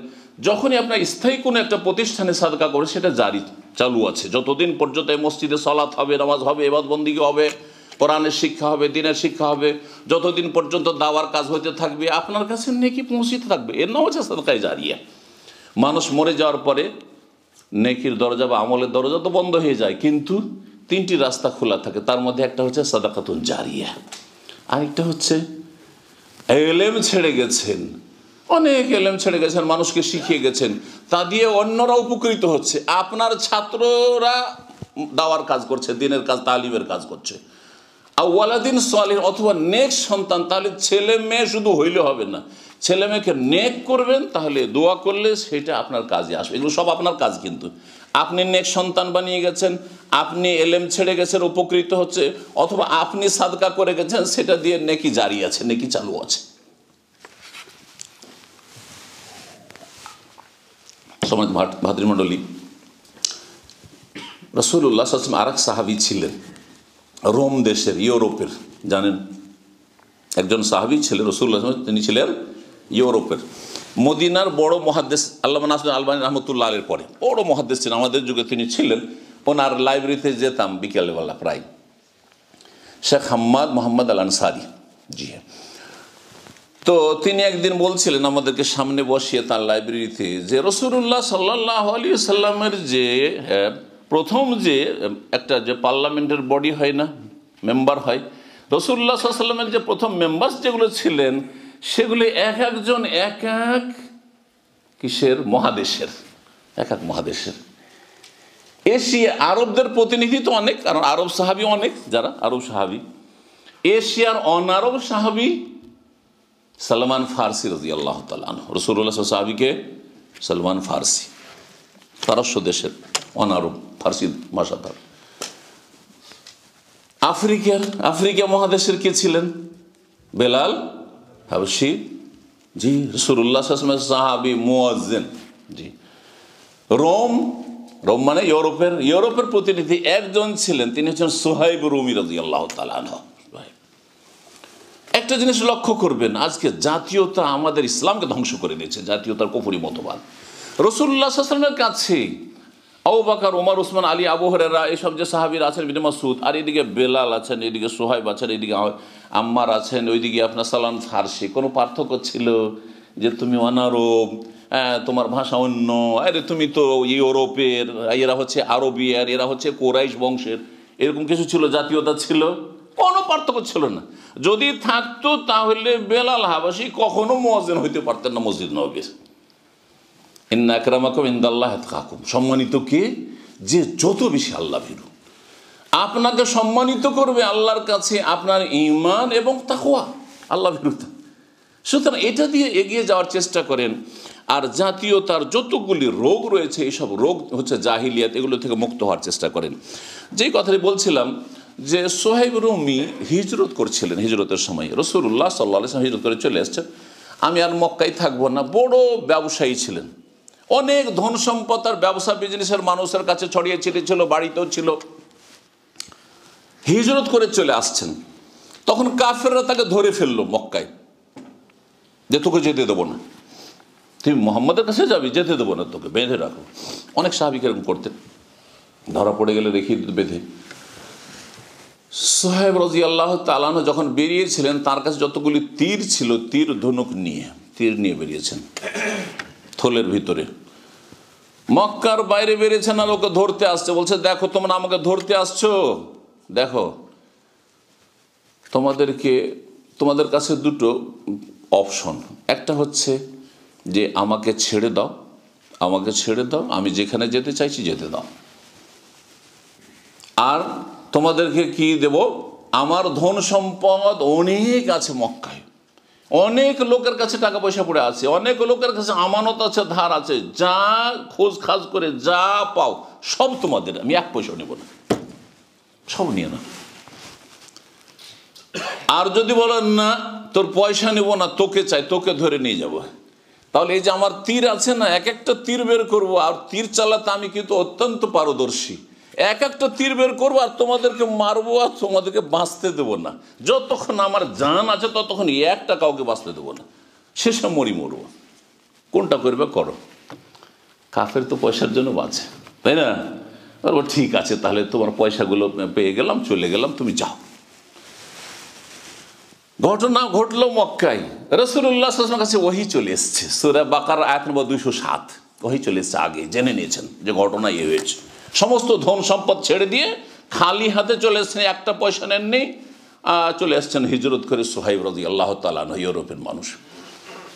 রসুল্লাহ সাল্লাহ সাল্লাম সোহাইবকে দেখতে যখনই মসজিদ নবীতে এখানে এসে পৌঁছেছেন, রাবেহাল বাইও আবা ইয়াহিয়া, রাবেহাল বাইও সোহাইব সোহাইব, সোহাইবের কুনিয়ত ছিল, উপনাম ছিল আবু ইয়াহিয়া। আবু ইয়াহিয়া, সোহাইব, তোমার ব্যবসা বড়ই লাভবান হয়েছে। তুমি তোমার ব্যবসায় অত্যন্ত লাভবান হয়েছো। তোমার ব্যবসা কামিয়াব কামিয়াব। তিনবার করে বলেছেন। কার সাথে ব্যবসা ছিল? আল্লাহর সাথে ব্যবসা। হিজরত ফরজ ছিল। হিজরত করতে যাচ্ছি। রসুল্লাহ পাশে দাঁড়িয়ে আমি ইসলামের খেদমত করব, কোরবানি করব ইসলামের জন্য। ইসলামের জন্য আমি ত্যাগ স্বীকার করব। আমার ধন সম্পদ সব চলে যাক বাড়ি ঘর সব নিয়ে নাও, কিন্তু আমাকে যেতে না এ হচ্ছে ইসলামের জন্য। মালের কোরবানি, আল্লাহ যেন আমাদেরকে কোরবানি করার তৌফিক দান করেন। শেষখানে দু একটি কথা বলি, সাদকা যদি করেন, দান খেরাত করেন, তো শুধু আখেরাতের ফায়দা নেই, দুনিয়ার অনেক ফায়দা আছে, দুনিয়ার ফায়দা আছে। নবী করিম সাল্লাহ আলী সাল্লাম একটি হাদিসে বলেছেন, জি মামিন ইয়মিন ইউসবেহুল এবাদফিহে সহি মুসলিমের হাদিস সহি বখারি হাদিস মামিন ইয়মিন ইউসবেহুল এবাদফিহে প্রতিদিন সকাল যখন হয় ইল্লা মালাকান ইয়ানজেলানে, আকাশ থেকে দুটো ফেরেস্তা মালাইকা নাজিল হয়। ইয়াকুল ও আহাদহমা, দুইজনের একজন দোয়া করে, দুজনই দোয়া করে, একজন নেক দোয়া করে, একজন বদ দোয়া করে। যে ব্যক্তি নেক দোয়া করে, যেই ফেরিস্তা বলে আল্লাহ আতে মুনফেকান খালাফা, আল্লাহ যে তোমার রাস্তায় খরচ করে, তাকে উত্তম বদলা দাও, বিকল্প দাও, যা খরচ করবে, তার চাইতে উত্তম বিনিময় দাও। আল্লাহ বরকত দাও, তার রুজিতে। যা দেবে, তার চাইতে বেশি তুমি খালাফ মানে বিকল্প দাও, বদলা দাও। বদলা শুধু নেকির বদলা না, ধন সম্পদের বৃদ্ধি, বরকতের বদলা। ওয়াকুল আখার আর এক ফেরিস্তা যে আছেন, উনি বদ্ধ দেন কাকি? আল্লাহ আতে মুমসে কান তালাফা। হে আল্লাহ, যারা কৃপণ, যারা বখিল, যারা টাকা পয়সা খরচ করতে চাই দেয় তাদেরকে সর্বনাশ করো। তালাফ তাদেরকে ক্ষতিগ্রস্ত করো, তাদের ধন সম্পদ যাতে নষ্ট হয়ে যায়। এজন্য যারা যত হিসাব করে, দেখেছি তারা বেশি ক্ষতিগ্রস্ত। আমরা পারিবারিক কাঠামোতে আমাদের দেশে দেখেছি, যেই ছেলে বাপ মাকে বেশি দেখাশোনা করে, সেই ছেলে খরচও বেশি করে আর বরকতও বেশি হয়। আর যেই ছেলে বাপ মায়ের ক্ষেত্রে হিসাব করে ভাই বোনদের ক্ষেত্রে হিসাব করে আত্মীয় স্বজনকে হিসাব করে, দিনের কাজ করতে গিয়ে হিসাব করে, সেই ব্যক্তি বেশি পেরেশান থাকে ভালা মুসিবত থাকে অভাবী থাকে। পরীক্ষিত, দেখে নেবেন এটা আপনি। ভালো করে দেখবেন, অবশ্যই এটা দেখতে পাবেন। সাদকা করলে আল্লাহর গজব ঠান্ডা হয়। নবী হাদিসে আসাদকা তো তুৎফি গাজা বা রব্বে সাদকা করলে রবের আল্লাহর গজব, ক্রোধ ঠান্ডা হয়ে যায়। তাহলে আমরা যে সব গুণাগুলি করছি, পাপ হচ্ছে, অন্যায় হয়ে যাচ্ছে, আল্লাহর রাগ হচ্ছে, ক্রোধ হচ্ছে, যখন সাদকা করবেন তখন আল্লাহর গজবটা ঠান্ডা হয়ে যাবে। যেমন আগুন নেমিয়ে যায় ওই রকম আল্লাহর গজব ঠান্ডা হয়ে যাবে নেমে যাবে। সাহি হত্যার গেবে হাদিসটি রয়েছে। এবং আরও রয়েছে হাদিসে যে সাদকা করলে তুৎফিউল খাতিয়া গোনাকে মুছে দেয় কামা তুৎফিও না তুৎফিউল মা আন্নার। যেমন পানি আগুনে ঢাললে পানি নেমিয়ে কি হয়? পানি যখন আগুনে ঢালে, তখন আগুন নিভিয়ে যায় ঠিক তেমনি সাদকা করলে গোনা মুছে যায়, সাফ হয়ে যায়। তাহলে গোনা মাফের কাফারার একটি গুরুত্বপূর্ণ উপায় হচ্ছে সাদকা করা। নবী করিম সাল্লাহ সারা বলেছে জাহান্নাম থেকে বাঁচার উপায় হচ্ছে সাদাকা। নবী সাল্লাহ সাল্লাম যখন সাদকা করতে বলেছেন, বহু সময় সাদকা করতে বলেছেন দিনের খেদমতে, তখন বলেছেন ইত্তাকন্যার ওয়ালাও বেশিককে তোমরা। জাহান্নামের আগুন থেকে তোমরা বাঁচো। যদিও একটা খেজুরের টুকরো দিয়ে হোক না কেন। অনেকে তুচ্ছ মনে করেন একটা খেজুরে কি হবে? যেমন কেউ যদি এখানে একটা পাউন্ড দেয় আরে, একটা পাউন্ডে কী হবে? লজ্জায় দেব দেখ, আমি বেশি পারব না, গরিব মানুষ। আর একটা বা পাঁচটা পাউন্ডে আমার কি হবে? একটা খেজুরের দাম একটা রিয়ালও না। একটা খেজুর আপনি এক রিয়ালে হয়তো দশটা, বিশটা খেজুর পেয়ে যাবেন। আর নবী সালাম একটা খেজুর বলছেন না, একটা খেজুরের টুকরো, এক খেজুরও নাই, এক খেজুরের অর্ধেক আছে।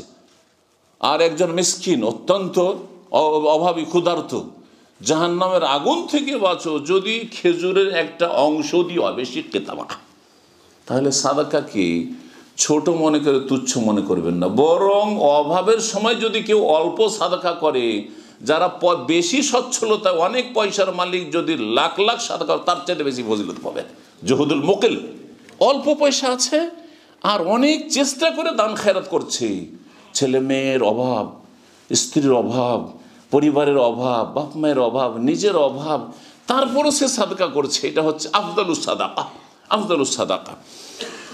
নবী করিম আরও বলেছেন যে, কেয়ামতের দিনে প্রত্যেক মানুষ আল মোমেন ফিজিল্লে সাদাকাতে অমল কেয়াবা কেয়ামতের দিন সাদাকা তাদের ছায়া করবে, সাদাকা তাদের ছায়া করবে। দুনিয়ার ফায়দা বলি, দুনিয়ার ফায়দার মধ্যে একটি ফায়দা হচ্ছে শারীরিক রোগ ভালো করার ক্ষেত্রে রসুল্লাহ সব সাদকা করতে বলেছেন। প্রসিদ্ধ হাদিস নবী সাল্লামের দাও মার দা কুম্বি সাদাকা, তোমরা তোমাদের রুগীদের চিকিৎসা ট্রিটমেন্ট করো সাদকা দিয়ে, সাদাকা দিয়ে। অনেক রোগ আছে, যেই রোগ আপনার ওষুধ দিয়ে ভালো হচ্ছে না। অপারেশন করে বলছে, ডাক্তার বলছে যে, না না, ভালো হবে, এরা নিয়ে যান, ভালো করতে পারা যাবে না। সাদাকা করে ভালো হয়ে গেছে। এইরকম বহু কিস্সা কাহিনী রয়েছে, সময়ের স্বল্পতা আছে, আরব দেশে এরকম বহু মশুর ঘটনা রয়েছে। ক্যান্সারের রোগ ভালো হয়ে গেছে সাদকা করে। ক্যান্সারের রোগ ভালো হয়ে গেছে। দোয়া এবং সাদকা করে। জমজমের পানি খেয়েছে, দোয়া করেছে, সাদকা করেছে। রোগ ভালো হয়ে গেছে। দূর আরোগ্য রোগ, যেগুলো সাধারণত ভালো হয় না। সেসব রোগের ক্ষেত্রে আপনি ওষুধ খেয়ে ভালো করতে পারছেন না। অপারেশন করে, অস্ত্রোপচার করে ভালো করতে পারছেন না। আপনি সাদকা করুন, শারীরিক রোগ ভালো হবে। সাদকা করলে মানসিক রোগ ভালো হয়, মনের রোগ ভালো হয়। মানসিক রোগ এক হচ্ছে মেন্টাল রোগ ডিজিজ যেটা। আর মানসিক রোগের মধ্যে আর এক রোগ হচ্ছে আপনার দিল শক্ত হয়ে যাচ্ছে। অনেকে আছেন, নামাজ পড়ছেন, কিন্তু দিল নরম হয়নি অনেকে আছেন যে বাপ মায়ের ক্ষেত্রে বা ভাই বোনদের ক্ষেত্রে দিল নরম হয় না, শক্ত। অনেকে আছেন, দোয়া করছেন, কিন্তু চোখ এই পানিও আসে না অন্তর নরম হয় না। এর এলাজ, এর চিকিৎসা রসুল্লাহ সাল্লাহ বলেছেন। মুসনাদ আহমদের হাদিস বলছেন রসুল্লাহ সাল্লাম যে, তুমি যদি এজা আরাদান তুলি না কালবাকা তুমি যদি তোমার দিলটাকে নরম করতে চাও, তাহলে ফামসাহ রাস আল ইয়েতিম। ফাত আমিল মিসকিন ওয়ামসাহ রাস আল ইয়েতিম। তাহলে মিসকিন দরিদ্রদেরকে খাওয়াবে মানে সাদকা করবে, আর কি করবে? ইয়াতিমদেরকে আদর করবে। যে পিতৃহীন, বাবা মারা গেছে, নাবালক অবস্থায় এরকম ছেলে মেয়েদেরকে আদর করবে, তাদের মাথায়, তাদের চেহারাতে হাত বোলাবে তাদেরকে কোলে নেবে, ভাগনা ভাগ্নি আছে, ভাতিজা ভাতিজা আছে, অথবা কেউ না, আত্মীয় কেউ না, কিন্তু সেসব ইয়েতিম ছেলে মেয়েদেরকে আদর করলে কি হয়? মানসিক রোগ ভালো হয় অন্তরের রোগ ভালো হয়, অন্তর নরম হয়।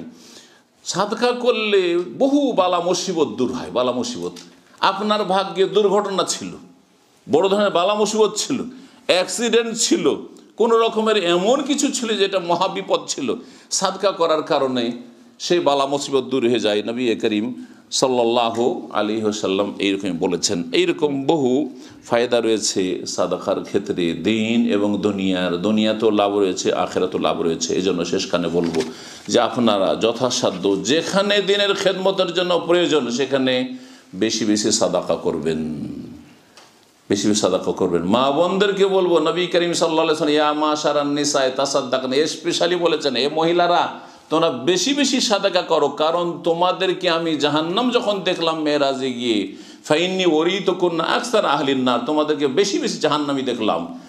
সুতরাং ভাইদেরকে বলব বোনদেরকে বলব, আপনারা যথাসাধ্য সাদাকা খৈরাত করবেন, আর বিশেষ করে যেখানে বসে আছেন এই মসজিদ তৌহিদ যে হাইডি, এই মসজিদের বিশাল অংশ কিন্তু এখন পয়সার অভাবে ব্যবহার করতে পারা যাচ্ছে না। বা কাজ করা সম্ভব হচ্ছে না, যার ফলে সেখানে যেসব আরও কাজ করা যেতে পারে দিনের খেদমতে যেমন সাপ্তাহিক মাদ্রাসা তারপরে কোরআন শিক্ষার আরও বেশি বড় সড়ো করে কোরআন শিক্ষার ব্যবস্থা করা, দাওয়াতি কাজকে আরও বড় করে বাড়ানো এবং লোক সংখ্যা আরও বেশি বাড়বে, মসজিদ বড় হবে, আর সহি আকিদার ভাইরা এখানে এসে সলাত আদায় করবে, সহি আকিদার ভাইরা এখান থেকে দিনের প্রচার প্রসার হবে, দিন শিখবে। আল্লাহ রব্বুল যেন আপনাদেরকে সার্বিকভাবে অংশ নেওয়ার তৌফিক দান করেন। শুরু থেকে যে কথাগুলি বললাম, যাদের কাছে এলেম আছে, এলম দিয়ে আপনি দিনের জন্য কোরবানি করবেন। যাদের কাছে সময় আছে, সময় দিয়ে কোরবানি করবেন। যাদের কাছে বিদ্যা বুদ্ধি আছে, বিদ্যা বুদ্ধি দিয়ে কোরবানি করবেন। যাদের কাছে পয়সা আছে, পয়সা দিয়ে কোরবানি করবেন। এলেম আছে, পয়সা আছে, দুটোই খরচ করবেন। আল্লাহ যেন আমাদের সকলকে তৌফিক দান করেন। আল্লাহ রব্বুল আলম যেন আমাদের দিন দুনিয়া ভালো করেন রব্বানা আতেনা ফিদ দুনিয়া হাসানা ওফিল আখেরাতে হাসানা ওকিনা আজাবান্নার ربنا ظلمنا أنفسنا وإن لم تغفر لنا وترحمنا لنكونن من الخاسرين ربنا لا تزغ قلوبنا بعد إذ هديتنا وهب لنا من لدنك رحمة إنك أنت الوهاب শেষখানে আপনাদের শুক্রিয়া আদায় করে এবং মোবারকবাদ দিয়ে যে দীর্ঘ সময় ধরে আপনারা বসে থাকলেন আমার আলোচনা শেষ করছি আর ইনশা আল্লাহ তালা কিছুক্ষণ পরে আবার প্রশ্ন উত্তর কিছু হবে ইনশা আল্লাহ তালা কিছুক্ষণের যাতে ইনশাআল্লাহ আপনাদের প্রশ্নগুলো উত্তর দেওয়ার চেষ্টা করব। আল্লাহ যেন আপনাদের যা খের দান করেন, আল্লাহ যেন নেকামল কবুল করেন এবং নেকির কাজের ওপর আপনাদেরকে স্থায়িত্ব দান করেন। সবসময় যেন আল্লাহ ইমান ইসলামের অবস্থায় রাখেন, নেক অবস্থায় রাখেন। আর শেষখানে তৌহিদের সাথে সন্ন্যার সাথে যেন আল্লাহ দুনিয়া থেকে আমাদেরকে গ্রহণ করেন।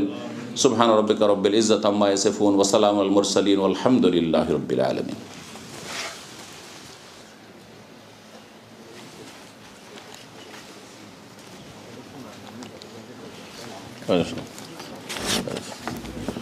একটা প্রশ্ন আছে।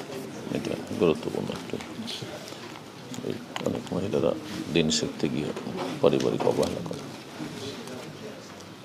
আলহামদুলিল্লাহ, আমরা মেহমান এখন পাই তারা এক গ্রুপ ফ্রম লন্ডন তারা দিছিল আর আর পর আমার ওকে আমি মন দিবা ইয়া ইউ নো গিয়া সিজ জাস্ট কাম ব্যাক এন্ড গিয়াও না, তারা যাইবা গিয়া একটু পরে।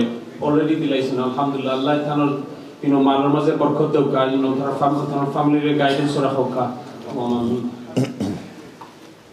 ওকে আমরা কোশ্চেন আনসার্স আরম্ভ করলিম নে। প্লিজ আপনারা যাইবা না উইদাউট ইটিং আমরা খানির ব্যবস্থা করছি সো ইনো সব খাইয়া যাইবা। আর যাইবার সময় প্লিজ লিফলেট চালিয়ে যাইবা আমরা মসজিদের মসজিদের মাঝে লিফলেটের মাঝে পিকচার আছে দেখ পারে আপনারা অ্যাপ্রিশিয়েট করতে কত বড় ওই বিল্ডিং কত ফ্যাসিলিটি আমরা দিতে পারব ইফ ইটস কমপ্লিট জাজাকুমুল্লাহ খাইর।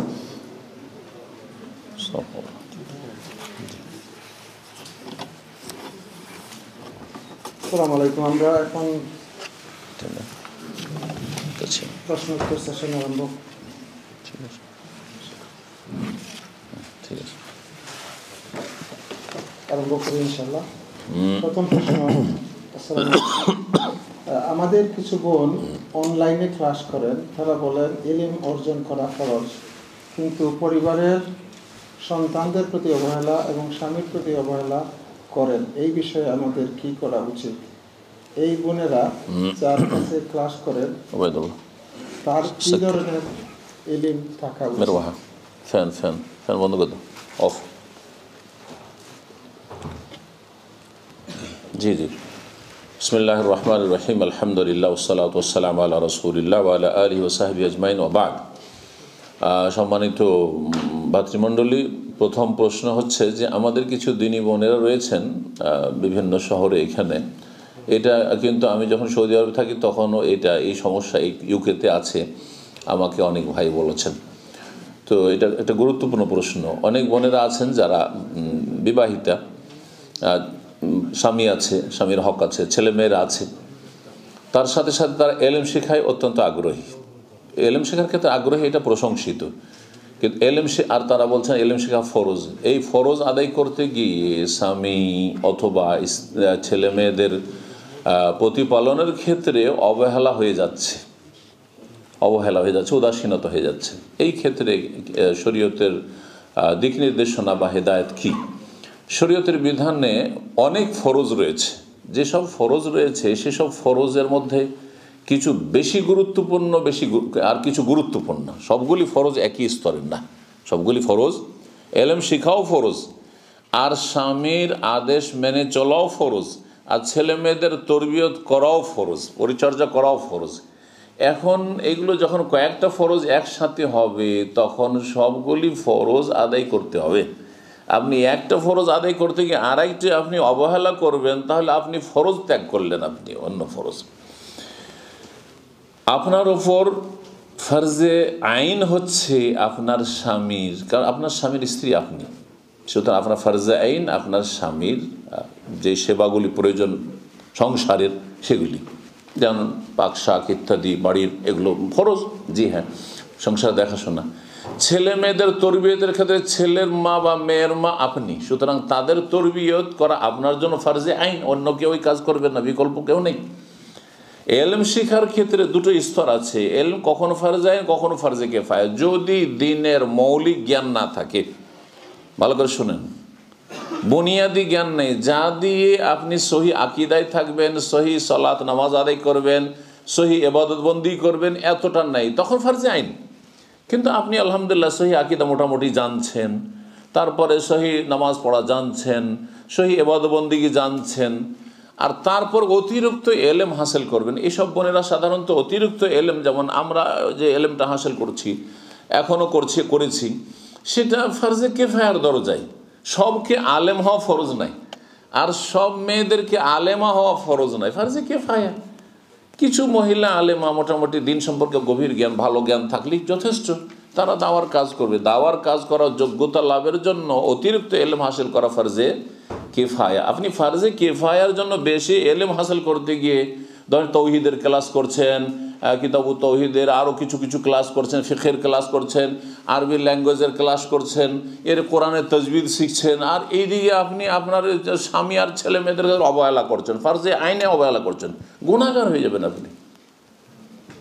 জি, বেশি গুরুত্বপূর্ণ আর গুরুত্বপূর্ণ, ঠিক আছে, এলেম শেখও গুরুত্বপূর্ণ এই ক্ষেত্রে, কিন্তু তার চাইতে বেশি গুরুত্বপূর্ণ হচ্ছে আপনার বাড়িকে সামলানো, সুতরাং বন্ধেরকে নসিহা করব যে এটা যেন খেয়াল থাকে। আর তারপরে যেটুকু সময় বের হবে, বাইরে যাওয়া সম্ভব নয়। বাড়িতে বসে বসে, বাড়িতে বসে অনলাইনে শিখছেন কিছু, তারপরে এক ঘণ্টা, দুই ঘণ্টা, চার ঘণ্টা সম্ভব এক ঘণ্টা দিনে শিখছেন যথেষ্ট। জি, জাকুমুল্লাহ খান শেখ, আমার প্রশ্ন হলো, ইয়াজিদ তার বাহিনীর দ্বারা কারবালায় নদীজির নাতি সহ অনেক সাহাবিদেরকে হত্যা করেছিলেন, তাহলে সে কি দোষী নয়? আর মদিনায় তার বাহিনীর দ্বারা অনেক মহিলাদেরকে নির্যাতন, হত্যা করে, করা হয়েছিল। ইয়াজিদ দোষী কিনা? ইয়াজিদ জি, বিন মাউইয়া রদি আল্লাহ তালাহ মাউইয়া। মাউইয়া রাজি আল্লাহ তালাহ সাহাবি, সম্মানিত সাহাবি, জি। রসুল্লাহ সাল্লামের শ্যালক। রসুল্লাহ সাল্লাম তার প্রশংসা করেছেন। ইয়াজিদ এমন এক ব্যক্তি, একজন শাসক, যেমন অন্যান্য শাসকরা হয় সেই যুগে তার মধ্যে বেশ হাসানাত ভালো দিক- দিকও ছিল। যেগুলোর উপর পর্দা পড়ে গেছে, যেগুলোর উপর শিয়া রাফেজিদের অপপ্রচারের কারণে, প্রভাকাণ্ডার কারণে পর্দা পড়ে গেছে। অনেক ভালো কাজ তিনি করেছেন। আর তার এই দুইটি ক্ষেত্রে তার বড়ই অপরাধের কথা বলা হচ্ছে। একটি হলো যে কারবালার প্রান্তে যে হোসেন রাজি আল্লাহ তালানহকে শহীদ করা হলো, সেটা তার নির্দেশে ছিল, কিন্তু এটা তার নির্দেশ ছিল কিনা এটা গবেষণা করে দেখতে হবে। তিনি কিন্তু বলেনি যে তাকে হত্যা করো। জি, এটা হচ্ছে সঠিক। তিনি বলেছিলেন যে তাকে নিয়ে আসার জন্য হ্যাঁ। তারপরে হুসেন রাজি আল্লাহ আসতে চেয়েছিলেন, তিনি এটা চাননি। কখনো চাননি যে তাকে মেরে দিক ওখানে। এই জন্য যখন তার কাছে নিয়ে আসা হইল, এজিদের কাছে হোসেন রাজি আল্লাহ তালাহর আপনার মাথা, তখন তিনি অসন্তুষ্টি প্রকাশ করেছিলেন। নারাজ হয়েছিলেন এবং বলেছিলেন যে, আমাকে কেয়ামত পর্যন্ত আমাকে একজন ঘৃণার পাত্র বানিয়ে দিলে তোমরা, মানুষের কাছে। ইবনে জিয়াদ যে ছিল, সে এই জুলমটা করেছিল। সব শাসকদের ডানে বামে যারা থাকে, অনেক সময় বেশি বাড়াবাড়ি করে, যার ফলে দোষ কার উপরে চেপে যায়? যিনি প্রধান শাসক থাকেন, তার উপর চেপে যায়। এটা হচ্ছে বেতানা সু। যারা খারাপ লোক ডানে বামে থাকে, সেই জন্য হয়ে যায়। এটা হয়েছে। তাহলে এই ক্ষেত্রে শিয়া, রাফিজরা যে যতটা বাড়াবাড়ি করেছে, আর আমাদের সন্নিদের মধ্যেও কিছু লোকের আছে অপপ্রচারে, তারা সঠিক এলেম না রাখার কারণে সরাসরি বড় অপরাধী মনে করে এজিদকে জি হ্যাঁ। এজিদের চাইতে অনেক যোগ্য ছিলেন হুসেন এতে কোনো সন্দেহ নেই। কিন্তু যোগ্য থাকতে অযোগ্য কেউ যদি খলিফা হয়ে যায় তাহলে তার আনুগত্যের ইসলামে হুকুম আছে। এমন নয় যে সে নাজাইজ জবরদখল করেছে বা কিছু, তাকে যখন গোটা দেশের লোক মেনে গেছে। এই জন্য অনেক সাহাবির, আব্দুল বিন আব্বাস, আবদুল্লাহ বিন ওমার, অনেক সাহাবিরা নিষেধ করেছেন, বারবার করে খুব রিকোয়েস্ট করেছিলেন যে, হোসেন, তুমি যেও না। ইরাকের লোকেরা গাদ্দার, তোমাকে আজকে ডাকছে, কালকে গাদ্দারি করে বিশ্বাসঘাতকতা তোমাকে মারেই দেবে। তোমার ভাইয়ের সাথে এরকম করেছে, তোমার বাবার সাথে এরকম করেছ।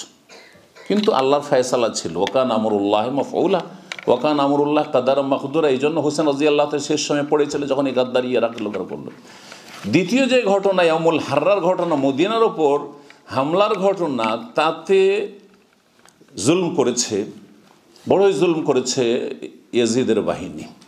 এবং সেই ক্ষেত্রে তার পক্ষ থেকে আমাদের ডিফেন্স করার কিছু নেই। এই জন্য বললাম যে তার জুলম অত্যাচারও আছে, জুলম অত্যাচার আছে।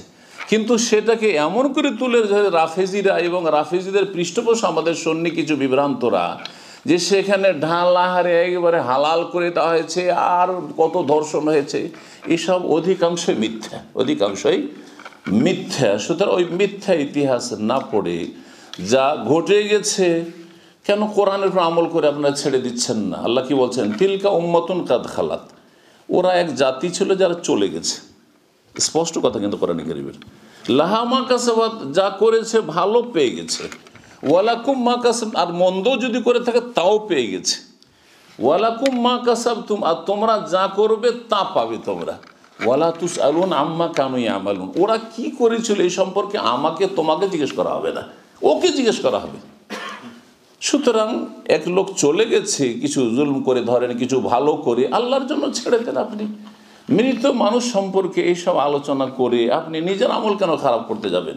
আপনি নিজের চরকায় তেল দিয়ে নিজে ভালো হওয়ার চেষ্টা করেন। এটা হচ্ছে কোরআনের শিক্ষা। সুতরাং এই ক্ষেত্রে মধ্যম পন্থা অবলম্বন করেন। কখনো এজিদ রাজি আল্লাহ তার রহমাল্লাহ এসব বলতে যাবেন না, দরকারও নেই। জরুরি নয় যে একটা মুসলিম যদি ভালো হয়, তারপর তাকে দোয়া দেওয়া জরুরি নাই জি হ্যাঁ। দোয়া দেওয়া জরুরি নাই যে যে কোনো লোক নাম নাম আসে রহমল্লাহ বলতে হবে, জরুরি নয় সেটা। সুতরাং যদি কেউ জায়জ মনে করে করে বলুক আপনার এটাও করতে যাবেন না, কারণ মানুষকে একটু আঘাত লাগবে, কারণ মানুষের মনে একটা কষ্ট আছে যে জুলম করেছে। এই যে একটা ধারণা আছে। আর আপনি এমন দোষ চাপাতে যাবেন না, যেটা দিয়ে আপনার ওপর আজাব বিপদ আসে যে তুমি এই মিথ্যাবাদ কোথায় পেয়েছিলে এসব কথা? এসব তো রি- শিয়া রাফিজিদের গড়া কথাবার্তা। আপনি কি জানেন ইতিহাস সম্পর্কে? সুতরাং আপনারা নীরব থাকলে আপনার ইমান আমল ঠিক থাকবে এই বিষয়ে। চলে গেছে, নিজের আমল নিয়ে চলে গেছে। হাদিস আফজা এলা মাকাদ্দামা যে মরে গেছে, যা করেছে পেয়ে গেছে। ও যদি ভালো করে থাকে, তো আল্লাহ অবশ্যই ভালো কিছু দেবেন। আর মন্দ করে থাকে, তো মন্দ দেবেন। অথবা তার যদি কাফারার ব্যবস্থা থাকে, আল্লাহ মাফ করবেন। আপনার আমার করার কিছু নেই। সুতরাং আশা করি এতটাই বোঝার জন্য যথেষ্ট মধ্যম পন্থা অবলম্বন করুন। একজন মানুষ রোগে আক্রান্ত হয়ে তিন চার মাস শয্যা সেই অবস্থায় মারা গেল। এই তিন চার মাস রোগ আক্রান্ত অবস্থায় নামাজ পড়তে পারে নাই। এই মৃত ব্যক্তির নামাজের কাফারা কি দিতে হবে? আমাদের দেশে দেখছি মারা যাওয়া ওই ব্যক্তির উপর কাজা নামাজের মূল্য নির্ধারণ যথেষ্ট যথেষ্ট। একজন মানুষ অসুস্থ অবস্থায় মৃত্যুসজ্জায় পড়ে থেকে অসুস্থ অবস্থায় দুনিয়া থেকে বিদায় নিয়েছে। এই কয়েক মাস সে নামাজ আদায় করতে পারেনি ফরজ। এখন কি তার এই নামাজগুলির কোনো কাফারা আছে বা দিতে হবে? আমাদের দেশে নামাজের কাফারা ধরে থাকে, দিয়ে থাকে। নামাজের এই কাফারা নাই, যে প্রচলিত কাফারা ভারত, বাংলাদেশ, পাকিস্তানে আছে, এটি বেদাত। নামাজের কাফারায় যদি সারা পৃথিবীর কোনো রাজা থাকে আর সেই রাজা বলে, আমি নামাজ পড়ব না, কিন্তু আমার রাজত্বটা দান করে দেবো। তবুও নামাজের কোনো কাফার হবে না। তাহলে আপনার কিছু টাকা পয়সা দিয়ে নামাজের কাফার হইতে পারে?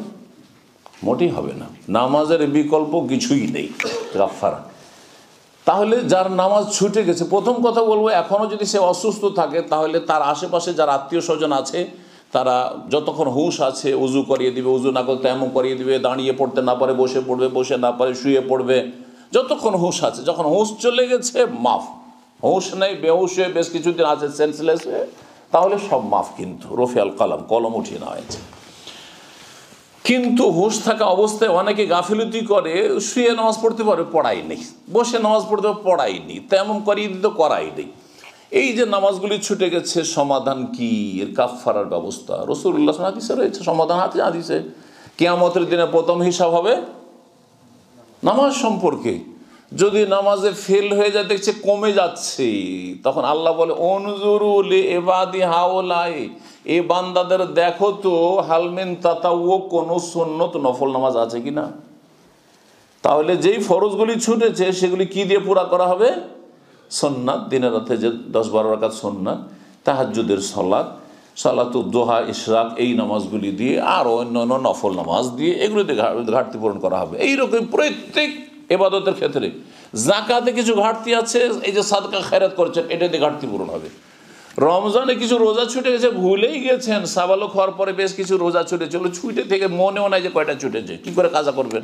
জানা যদি থাকে দু চার দশটা ছুটেছে, তাহলে কাজা করবেন। কয়েক বছর কত যে ছুটে জানা নেই। তাহলে বেশি বেশি নফল রোজা শ্যাম পালন করলে ওটা দিয়ে ঘাটতি পূরণ করা হবে।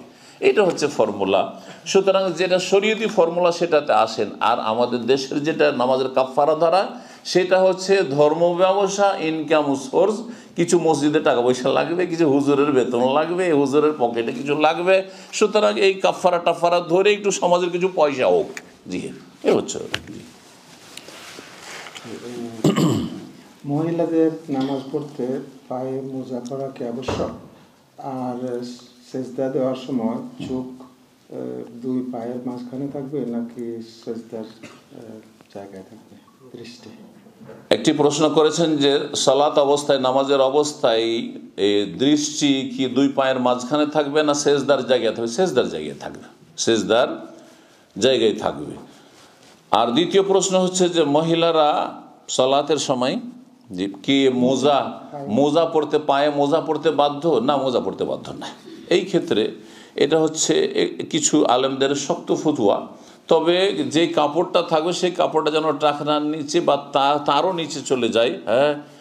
এইরকম হয় ঢিলা ঢালা কাপড় হয়, আর নিচে পর্যন্ত যেন থাকে। আর পায়ের পাতা পর্যন্ত ঢাকতে হবে, এই ফতুয়া কিছু আলেমদের থাকলেও, শেখ হোসেমিন রহমল্লাহ বা আরও কিছু আলমারা বলেছেন যে, না, এটা এমন কিছু নাই যেটা একবারে কোরআন এবং হাদিস দ্বারা শক্তভাবে প্রমাণিত এমন কিছু নাই। সুতরাং আমি মনে করি যে, মোজা পরা আবশ্যক না। কোনো মহিলা যদি পরে ভালো কথা করুক কিন্তু তাকে নিষেধও করব না।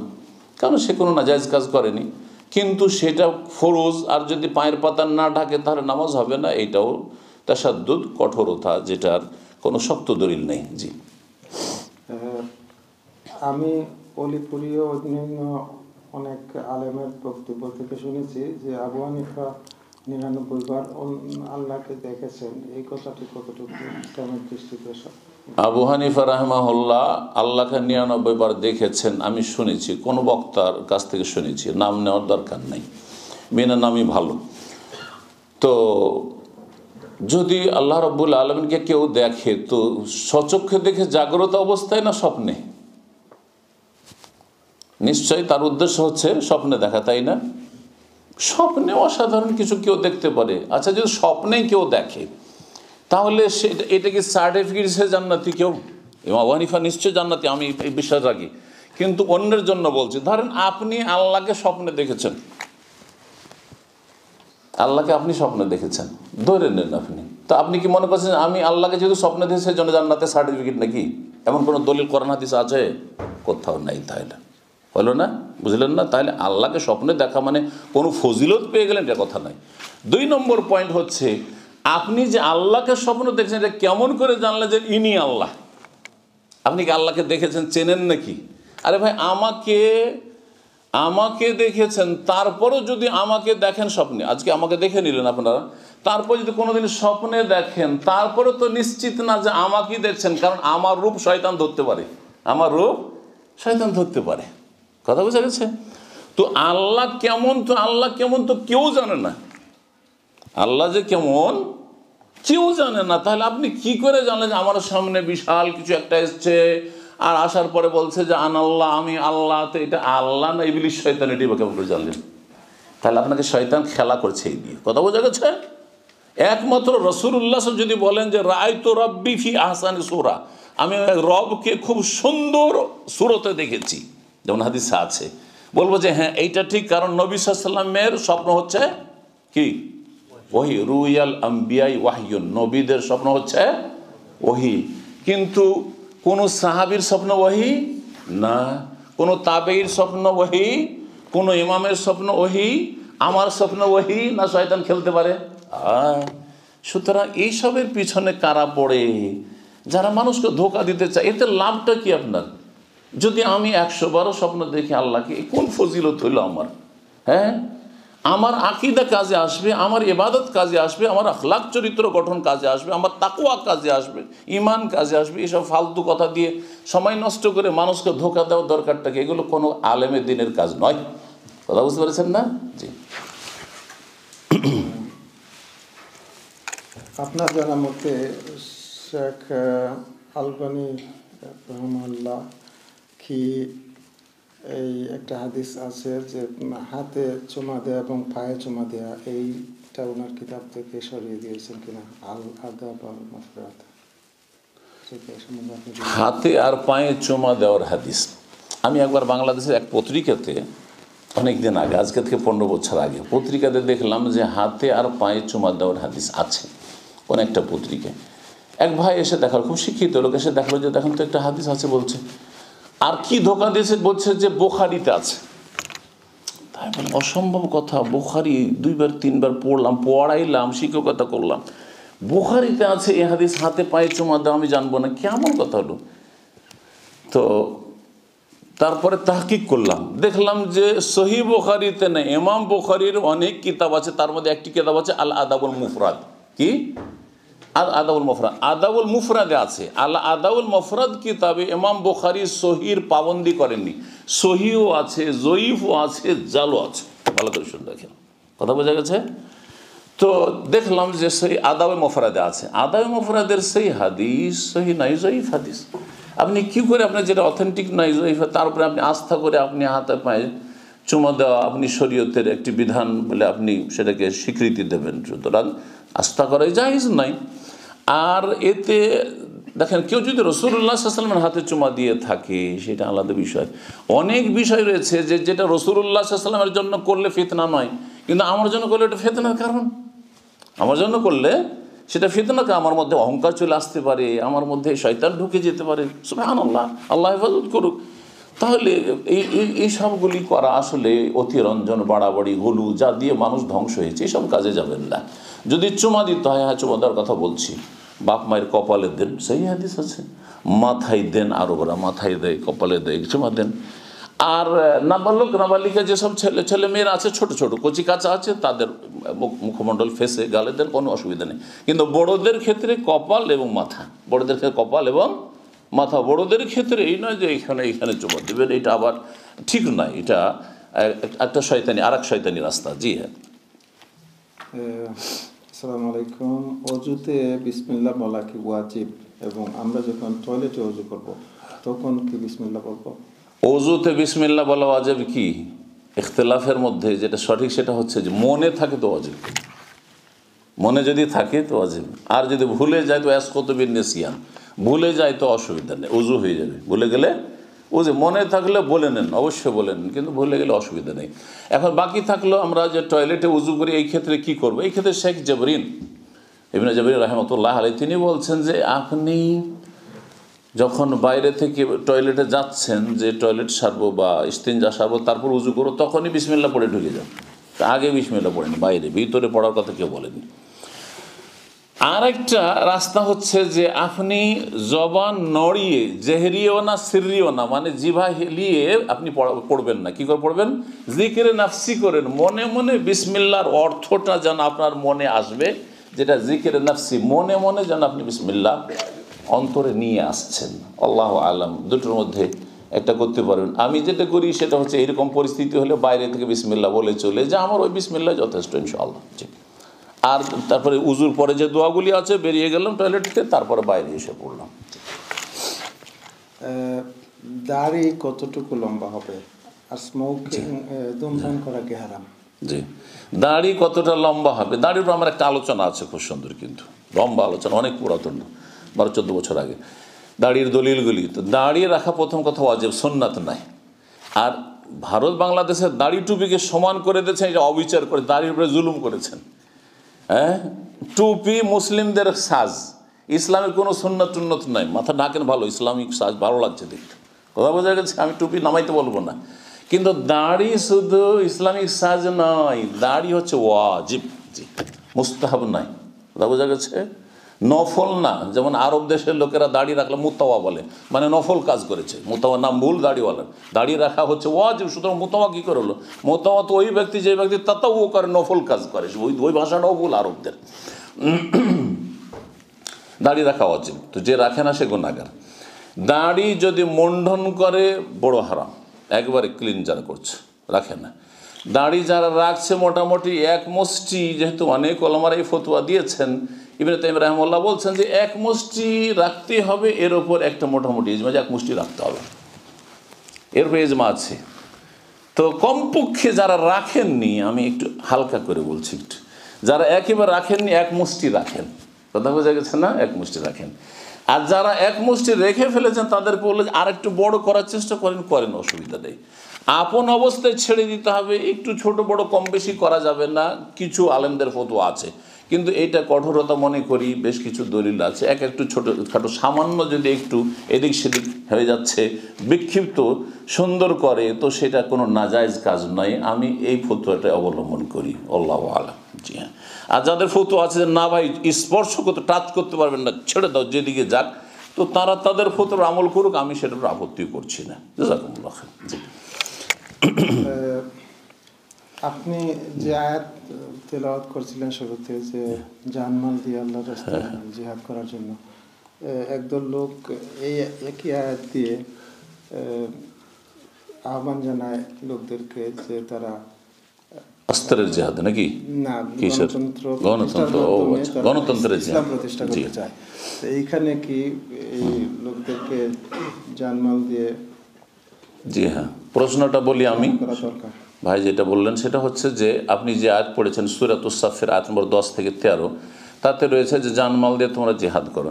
এই জেহাদের আয়াতগুলোর যে যেমন তেমন ব্যাখ্যা করে। যে যেমন তেমন ব্যাখ্যা করে। প্রশ্নকারী প্রশ্ন করেছেন যে এক শ্রেণির লোকেরা বলে যে আমরা গণতন্ত্রের মাধ্যমে জেহাদ করেছি জেহাদ করে ইসলাম কায়েম করব একামতে দিন করব দিন কায়েম করব। তো এই ব্যাখ্যাটা কেমন? জি হ্যাঁ।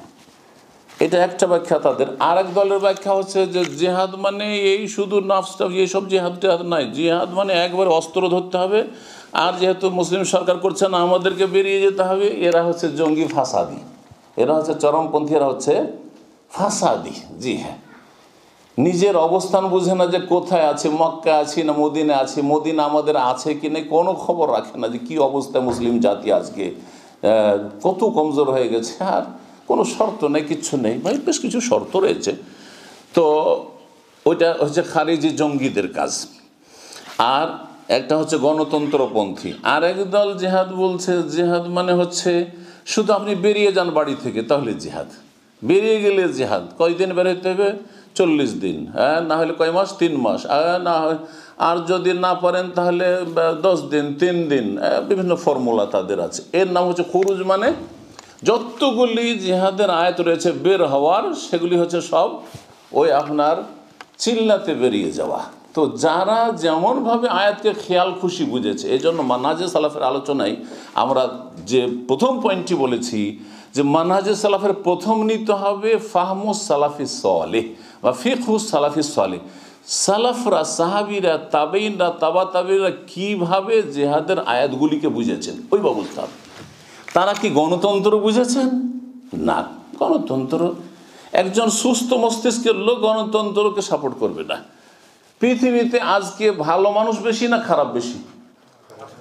তো তো আর গণতন্ত্র মানে তো হ্যাঁ মেজরিটি তাহলে আপনি কি সমর্থন করবেন? পৃথিবীতে জান্নাতি বেশি না জান্নাই বেশি? নামাজি বেশি না বেনামাজি বেশি?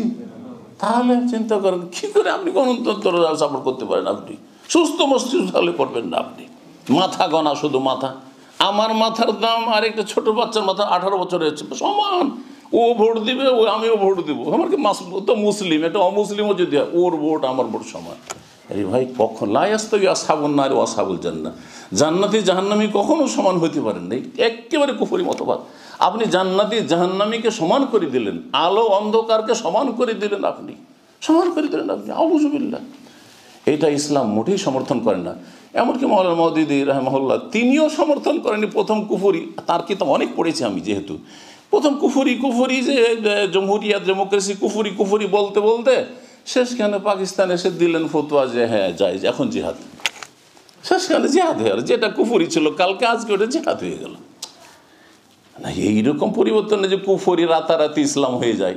হ্যাঁ জি, এগুলো ধোকা দেওয়া মানুষকে। তো বলছিলাম যে জেহাদের যে আয়াতগুলো রয়েছে, জেহাদের কয়েকটা স্তর রয়েছে। এদিকে ইঙ্গিত করেছে আজকের আলোচনাতে প্রথম শুরু করতে হবে নিজের নাচ থেকে। আর শয়তানের বিরুদ্ধে। শয়তান চক্রান্ত করছে। মানুষ শয়তান, জিন শয়তান। খারাপ লোকেরা খারাপ করার চেষ্টা করছে। এই যে আপনার পশ্চিমা সমাজে বাস করছেন, আপনাকে বড় জেহাদ করতে হবে এখানে, আপনার ছেলে মানুষ করার জন্য। আপনার স্ত্রী কন্ট্রোল করার জন্য বড় জেহাদ করতে হবে, আপনার ওয়াইফকে মেয়েদেরকে, ছেলেদেরকে, তরবিয়তের জন্য বড় জেহাদ করতে হবে। এগুলো হচ্ছে জেহাদ, যে জেহাদ আপনারা সকলে করতে পারবেন, এর জন্য কোনো কন্ডিশন নেই, শর্ত নেই যে এইটা হইলে করবে এটা হলে করবে না। বাকি যারা বলছেন যে গণতন্ত্রের মাধ্যমে আমরা ইসলাম কায়েম করব, সেই জন্য গণতন্ত্রের নাম বা ইলেকশনে অংশ নেওয়া আর ভোটে দাঁড়ানোর নাম হচ্ছে জিহাদ, এগুলো সব হচ্ছে তাদের কপল কল্পিত কথা, খেয়াল খুশি কথা, খেয়াল খুশি কথা। এটা ঠিক ওই রকমই দেখেন, গণতন্ত্র যখন কুফুরি মতবাদ, সময় নেই যে কুফুরি মতবাদটা আমি আজকে বলব, কিন্তু আমার আলোচনাতে আছে। কুফুরি মতবাদ দিয়ে ইসলাম কায়েম করা ঠিক ওই রকমই। যেমন আপনার কাছে পয়সা নেই কিন্তু সাদকা করতে, মসজিদে তহিদ আপনি সাদকা করতে চাইছেন, মসজিদ আমি দান খায়রাত করব। কিন্তু অভাবে মানুষ পয়সা নেই। এখন গেলেন যে একটা ধনী লোকের সুপার মার্কেট আছে, রাতের ডাকাতি করলেন আর নিয়ে এসে দান করে দিলেন। সাদকা করে তো সবের কাজ, কিন্তু ডাকাতি করে সাদকা করলেন। করবেন কেউ? ঠিক করে গণতন্ত্র কুফরি, কিন্তু এই কুফরি আমরা মেনে নিয়ে, কিছুদিনের জন্য মেনে নিয়ে আমরা কি করব? আমরা ইসলাম কায়েম করব। না না না ভুল কথা। এবং মালিক রহমুল্লার কথা মনে আছে? আমি আলোচনায় বলেছি লাই আসলোহা আখের হাজিল উম্মা ইল্লা বেমা বেহি আউ্বালুহা এই উম্মতের শেষ যুগের মানে আজকালকার যুগের, শেষ যুগের সমস্যার সমাধান হবে না, একমাত্র সেই পথ ছাড়া যেই পথ ধরেছিলেন এই উম্মতের প্রথম যুগের লোকেরা। সাহাবিদের কাছে এই গণতন্ত্রের মাধ্যমে দল ভারির মাধ্যমে আমাদেরকে হ্যাঁ, কি করতে হবে? ক্ষমতা অর্জন করতে হবে এটা ছিল না। তাদের কাছে ছিল নিজের ব্যক্তি জীবনের সংশোধন করো তারপরে পরিবার সংশোধন করো সমাজ সংশোধন করো এলাকার সংশোধন করো দেশ সংশোধন করো তারপরে বিশ্ব সংশোধন করা। জি। আর আমরা আগে আগে ওপরে চলে যাব দেশের ক্ষমতায় আসব আর ক্ষমতায় যখন চলে আসব, আমাদের পাওয়ার দিয়ে আমরা সবকে পিটিয়ে ঠিক করে দেবো এটা একবার উল্টো করে দিয়েছে। যেটা ইসলামের তরবিয়ত বা ইসলার যেটা তরিকা, সেটাকে একবার উল্টো করে দিয়েছে এই আমাদের এই ভাইয়েরা। আল্লাহ যেন তাদেরকে সঠিকটা বোঝার তৌফিক দান করেন এবং আমাদেরকে তাদের ভ্রষ্টতা গুমরাহি থেকে আমাদের ভাইদেরকে, বোনদেরকে যেন রক্ষা করেন। আপনারা বলেন, আমরা বেহেস্তে গেলে হুর পাবো, মহিলারা কি পাবে? এ প্রশ্ন জাকির নাইকে করেছে, তখন তো বলছে, হুরের কোনো লিঙ্গই নেই। দিল কোন ব্যাখ্যা করে। জি হ্যাঁ। দেখেন, আল্লাহ রব্বুল আলম হুরের কথা বলেছেন। আপনি এই হুরের নিয়ামত বিশ্বাস রাখেন। আর তারপরে সাথে সাথে বলেছেন, ওয়ালাকুম ফিহা মাতাস্তাহি আনফুসুকুম। তোমাদের মনে যা চাইবে তোমাদের মন আল্লাহ ভরিয়ে দেবেন। মন ভরিয়ে দেবেন। তো এটা কি শুধু পুরুষদের বলা হয়েছে না মহিলাদেরকে বলা হয়েছে? মহিলাদের বলা হয়নি? এতে অ্যাড্রেসটা যেমন পুরুষদের, ভাইদের বলা হয়েছে ব্রাদার তেমন সিস্টার্সদের বলা হয়েছে যে তোমাদের মনে যা চাইবে তা দেওয়া হবে। তো একজন নারীকে আল্লাহ এমন কিছু দেবেন জান্নাতে যাতে সে নিজের স্বামী নিয়ে তৃপ্তি হতে থাকবে। হয় না? আচ্ছা দুনিয়াতেই, দুনিয়ার উদাহরণ দিই তাহলে বুঝতে পারবেন। আপনার জন্য চারজন জায়জ আছে। চার, চার- চার স্ত্রী জায়জ আছে কিনা? একসাথে? জায়জ আছে। কিন্তু নারীর জন্য? হ্যাঁ একজন বেশি জায়জ আছে নাকি? জায়জ নেই। তো কোনো মহিলা যদি ব্যতিক্রম হয়, সে যদি বলে যে তোমার চারটা জায়জ, আমার চারটা রাখতে অসুবিধে হ্যাঁ চলবে নাকি? সেটা ব্যতিক্রম, কিন্তু অধিকাংশ মহিলা এই কথা কখনো বলবে না। এত নিচে নামবে না যে তোমার চার তো আমারও চার, বরং বলবে আমার স্বামী আমার জন্য এনাফ যথেষ্ট। বুঝবে না? এতেই তৃপ্তি। যদি দুনিয়াতে স্বামীকে নিয়ে তৃপ্তি হয়, একজনকে নিয়ে তার হ্যাঁ তাহলে কেন জান্নাতে তৃপ্তি হবে না, যেখানে নিয়ামতের শেষ নেই? সুতরাং এটা কখনো মনে করবেন না। আর ইসলাম সাম্যর নাম না, সুবিচারের নাম। আমার বাংলা বুঝলেন কি না ইসলামে সমান করা হয়নি যে তোমাকে হুর দেওয়া হয়েছে, তোকে হুর দিতে হবে হ্যাঁ? ভাইকে হুর দেওয়া হয়েছে তো বোনকে হুর দিতে হবে, এবার সুবিচারের নাম। তো ওতেই সুবিচার রয়েছে। দেখেন আল্লাহর বড় হিকমত আছে যে পৃথিবীতে নারী সংখ্যা বেশি হবে সুতরাং পুরুষরা কয়েকটা বিয়ে করলে এই সমাধান হবে পাপ থেকে নারীরা বাঁচতে পারবে। আর বেশিরভাগ দুর্ঘটনায় পুরুষরাই মারা যায় সেজন্য আহ, মহিলার সংখ্যা অটোমেটিক বেশি হবে। এই ক্ষেত্রে বহু বিবাহ যদি না থাকে অনেক বিয়ে না করে তাহলে অনেক মহিলা পাপে জড়িয়ে যাবে স্বামী না পাওয়ার কারণে। অনেকে সুন্দরী নয় কেউ বিয়ে করতে চায় না কিন্তু সেকেন্ড থার্ড হিসাবে বিয়ে করবে হয়তো। মসলিহাত কিন্তু একজন মহিলা যদি দুটো স্বামী রাখে, তিনটে স্বামী রাখে, তাহলে আজকালকার মেডিকেল সায়েন্স প্রমাণ করে দিচ্ছে, আপনারা এটা আমার চাইতে বেশি জানেন যে এতে এমন এমন মারাত্মক রোগের শিকার হবে সুলহান আল্লাহ এ তো বংশ পরিচয় তো ধ্বংস হবে যে এটা কোন বংশের? দুই স্বামীর, তো এই স্বামীর না ওই স্বামীর? কি করে বুঝবেন আপনি? তাহলে বংশের বারোটা বেজে যাবে, কোন বংশের ছেলে কিছু বোঝা যাবে না। হারাম, হালাল, সব এই বংশের লোক ওই বংশে এই বংশের লোক ওই বংশে চলে গেল, তাই না? যে কার নুৎফা দিয়ে কে পয়দা হইল। তাছাড়াও যে এমন এমন মারাত্মক রোগ আল্লাহর আজাব হিসাবে আসে, যেই মহিলারা একাধিক স্বামীর সাথে মেলামেশা করে, তাদের ওপর যেসব রোগের আজাব রয়েছে, সেটা আজকালকার মেডিকেল সায়েন্স প্রমাণ করছে। কথা বুঝতে পারছেন? সুতরাং আল্লাহর বড় হেকমত আছে এতে। যেইভাবে আল্লাহ কোরআন এখানে বলেছেন, ওতে জান্নাতে সন্তুষ্ট থাকবে। আর ওইটাই হচ্ছে জি, কোরআন করিমের কথা। জি।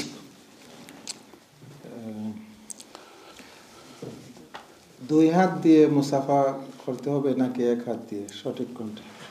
মোসাফা করা সম্পর্কে ভাই জিজ্ঞেস করছে, দুই হাত দিয়ে মোসাফা করতে হবে না এক হাত দিয়ে? আপনাদেরকে জিজ্ঞেস করে, মোসাফা করা ভালো কাজ না মন্দ কাজ? ভালো কাজ, তাই না? ভালো কাজ ডান হাত দিয়ে করার বিধান আছে না বাম হাত দিয়ে? আর যতগুলো মন্দ কাজ, পেশাব সাফ করবেন, পায়খানা সাফ করবেন, ময়লা আবর্জনা সাফ করবেন, নাক পরিষ্কার করবেন, কি দিয়ে? বাম হাত দিয়ে। তো যখন মোসাফা আপনারাই বললেন, ভালো কাজ, তো বাম হাত দিয়ে মোসাফা করাটা চলে?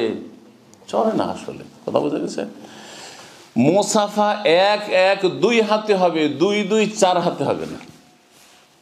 এক এক দুই হাতে হবে মানে ডান হাত ডান হাতের সাথে মিলবে, দুই দুই চার হবে না। কথা বুঝছেন না? মোসাফার শাব্দিক অর্থ শুনেন। মোসাফা সাফাতুন মানে হাতের এই তলা। সাফা মানে হাতের তলা এটা। বুঝছেন না? বাতেনুল কফ সাফা সাফার সাথে সাফা লাগানো হচ্ছে সাফাহা ইউসাফি হো মোসাফাহাতান। বাবে মোফালা যার আরবি গ্রামার পড়েছেন।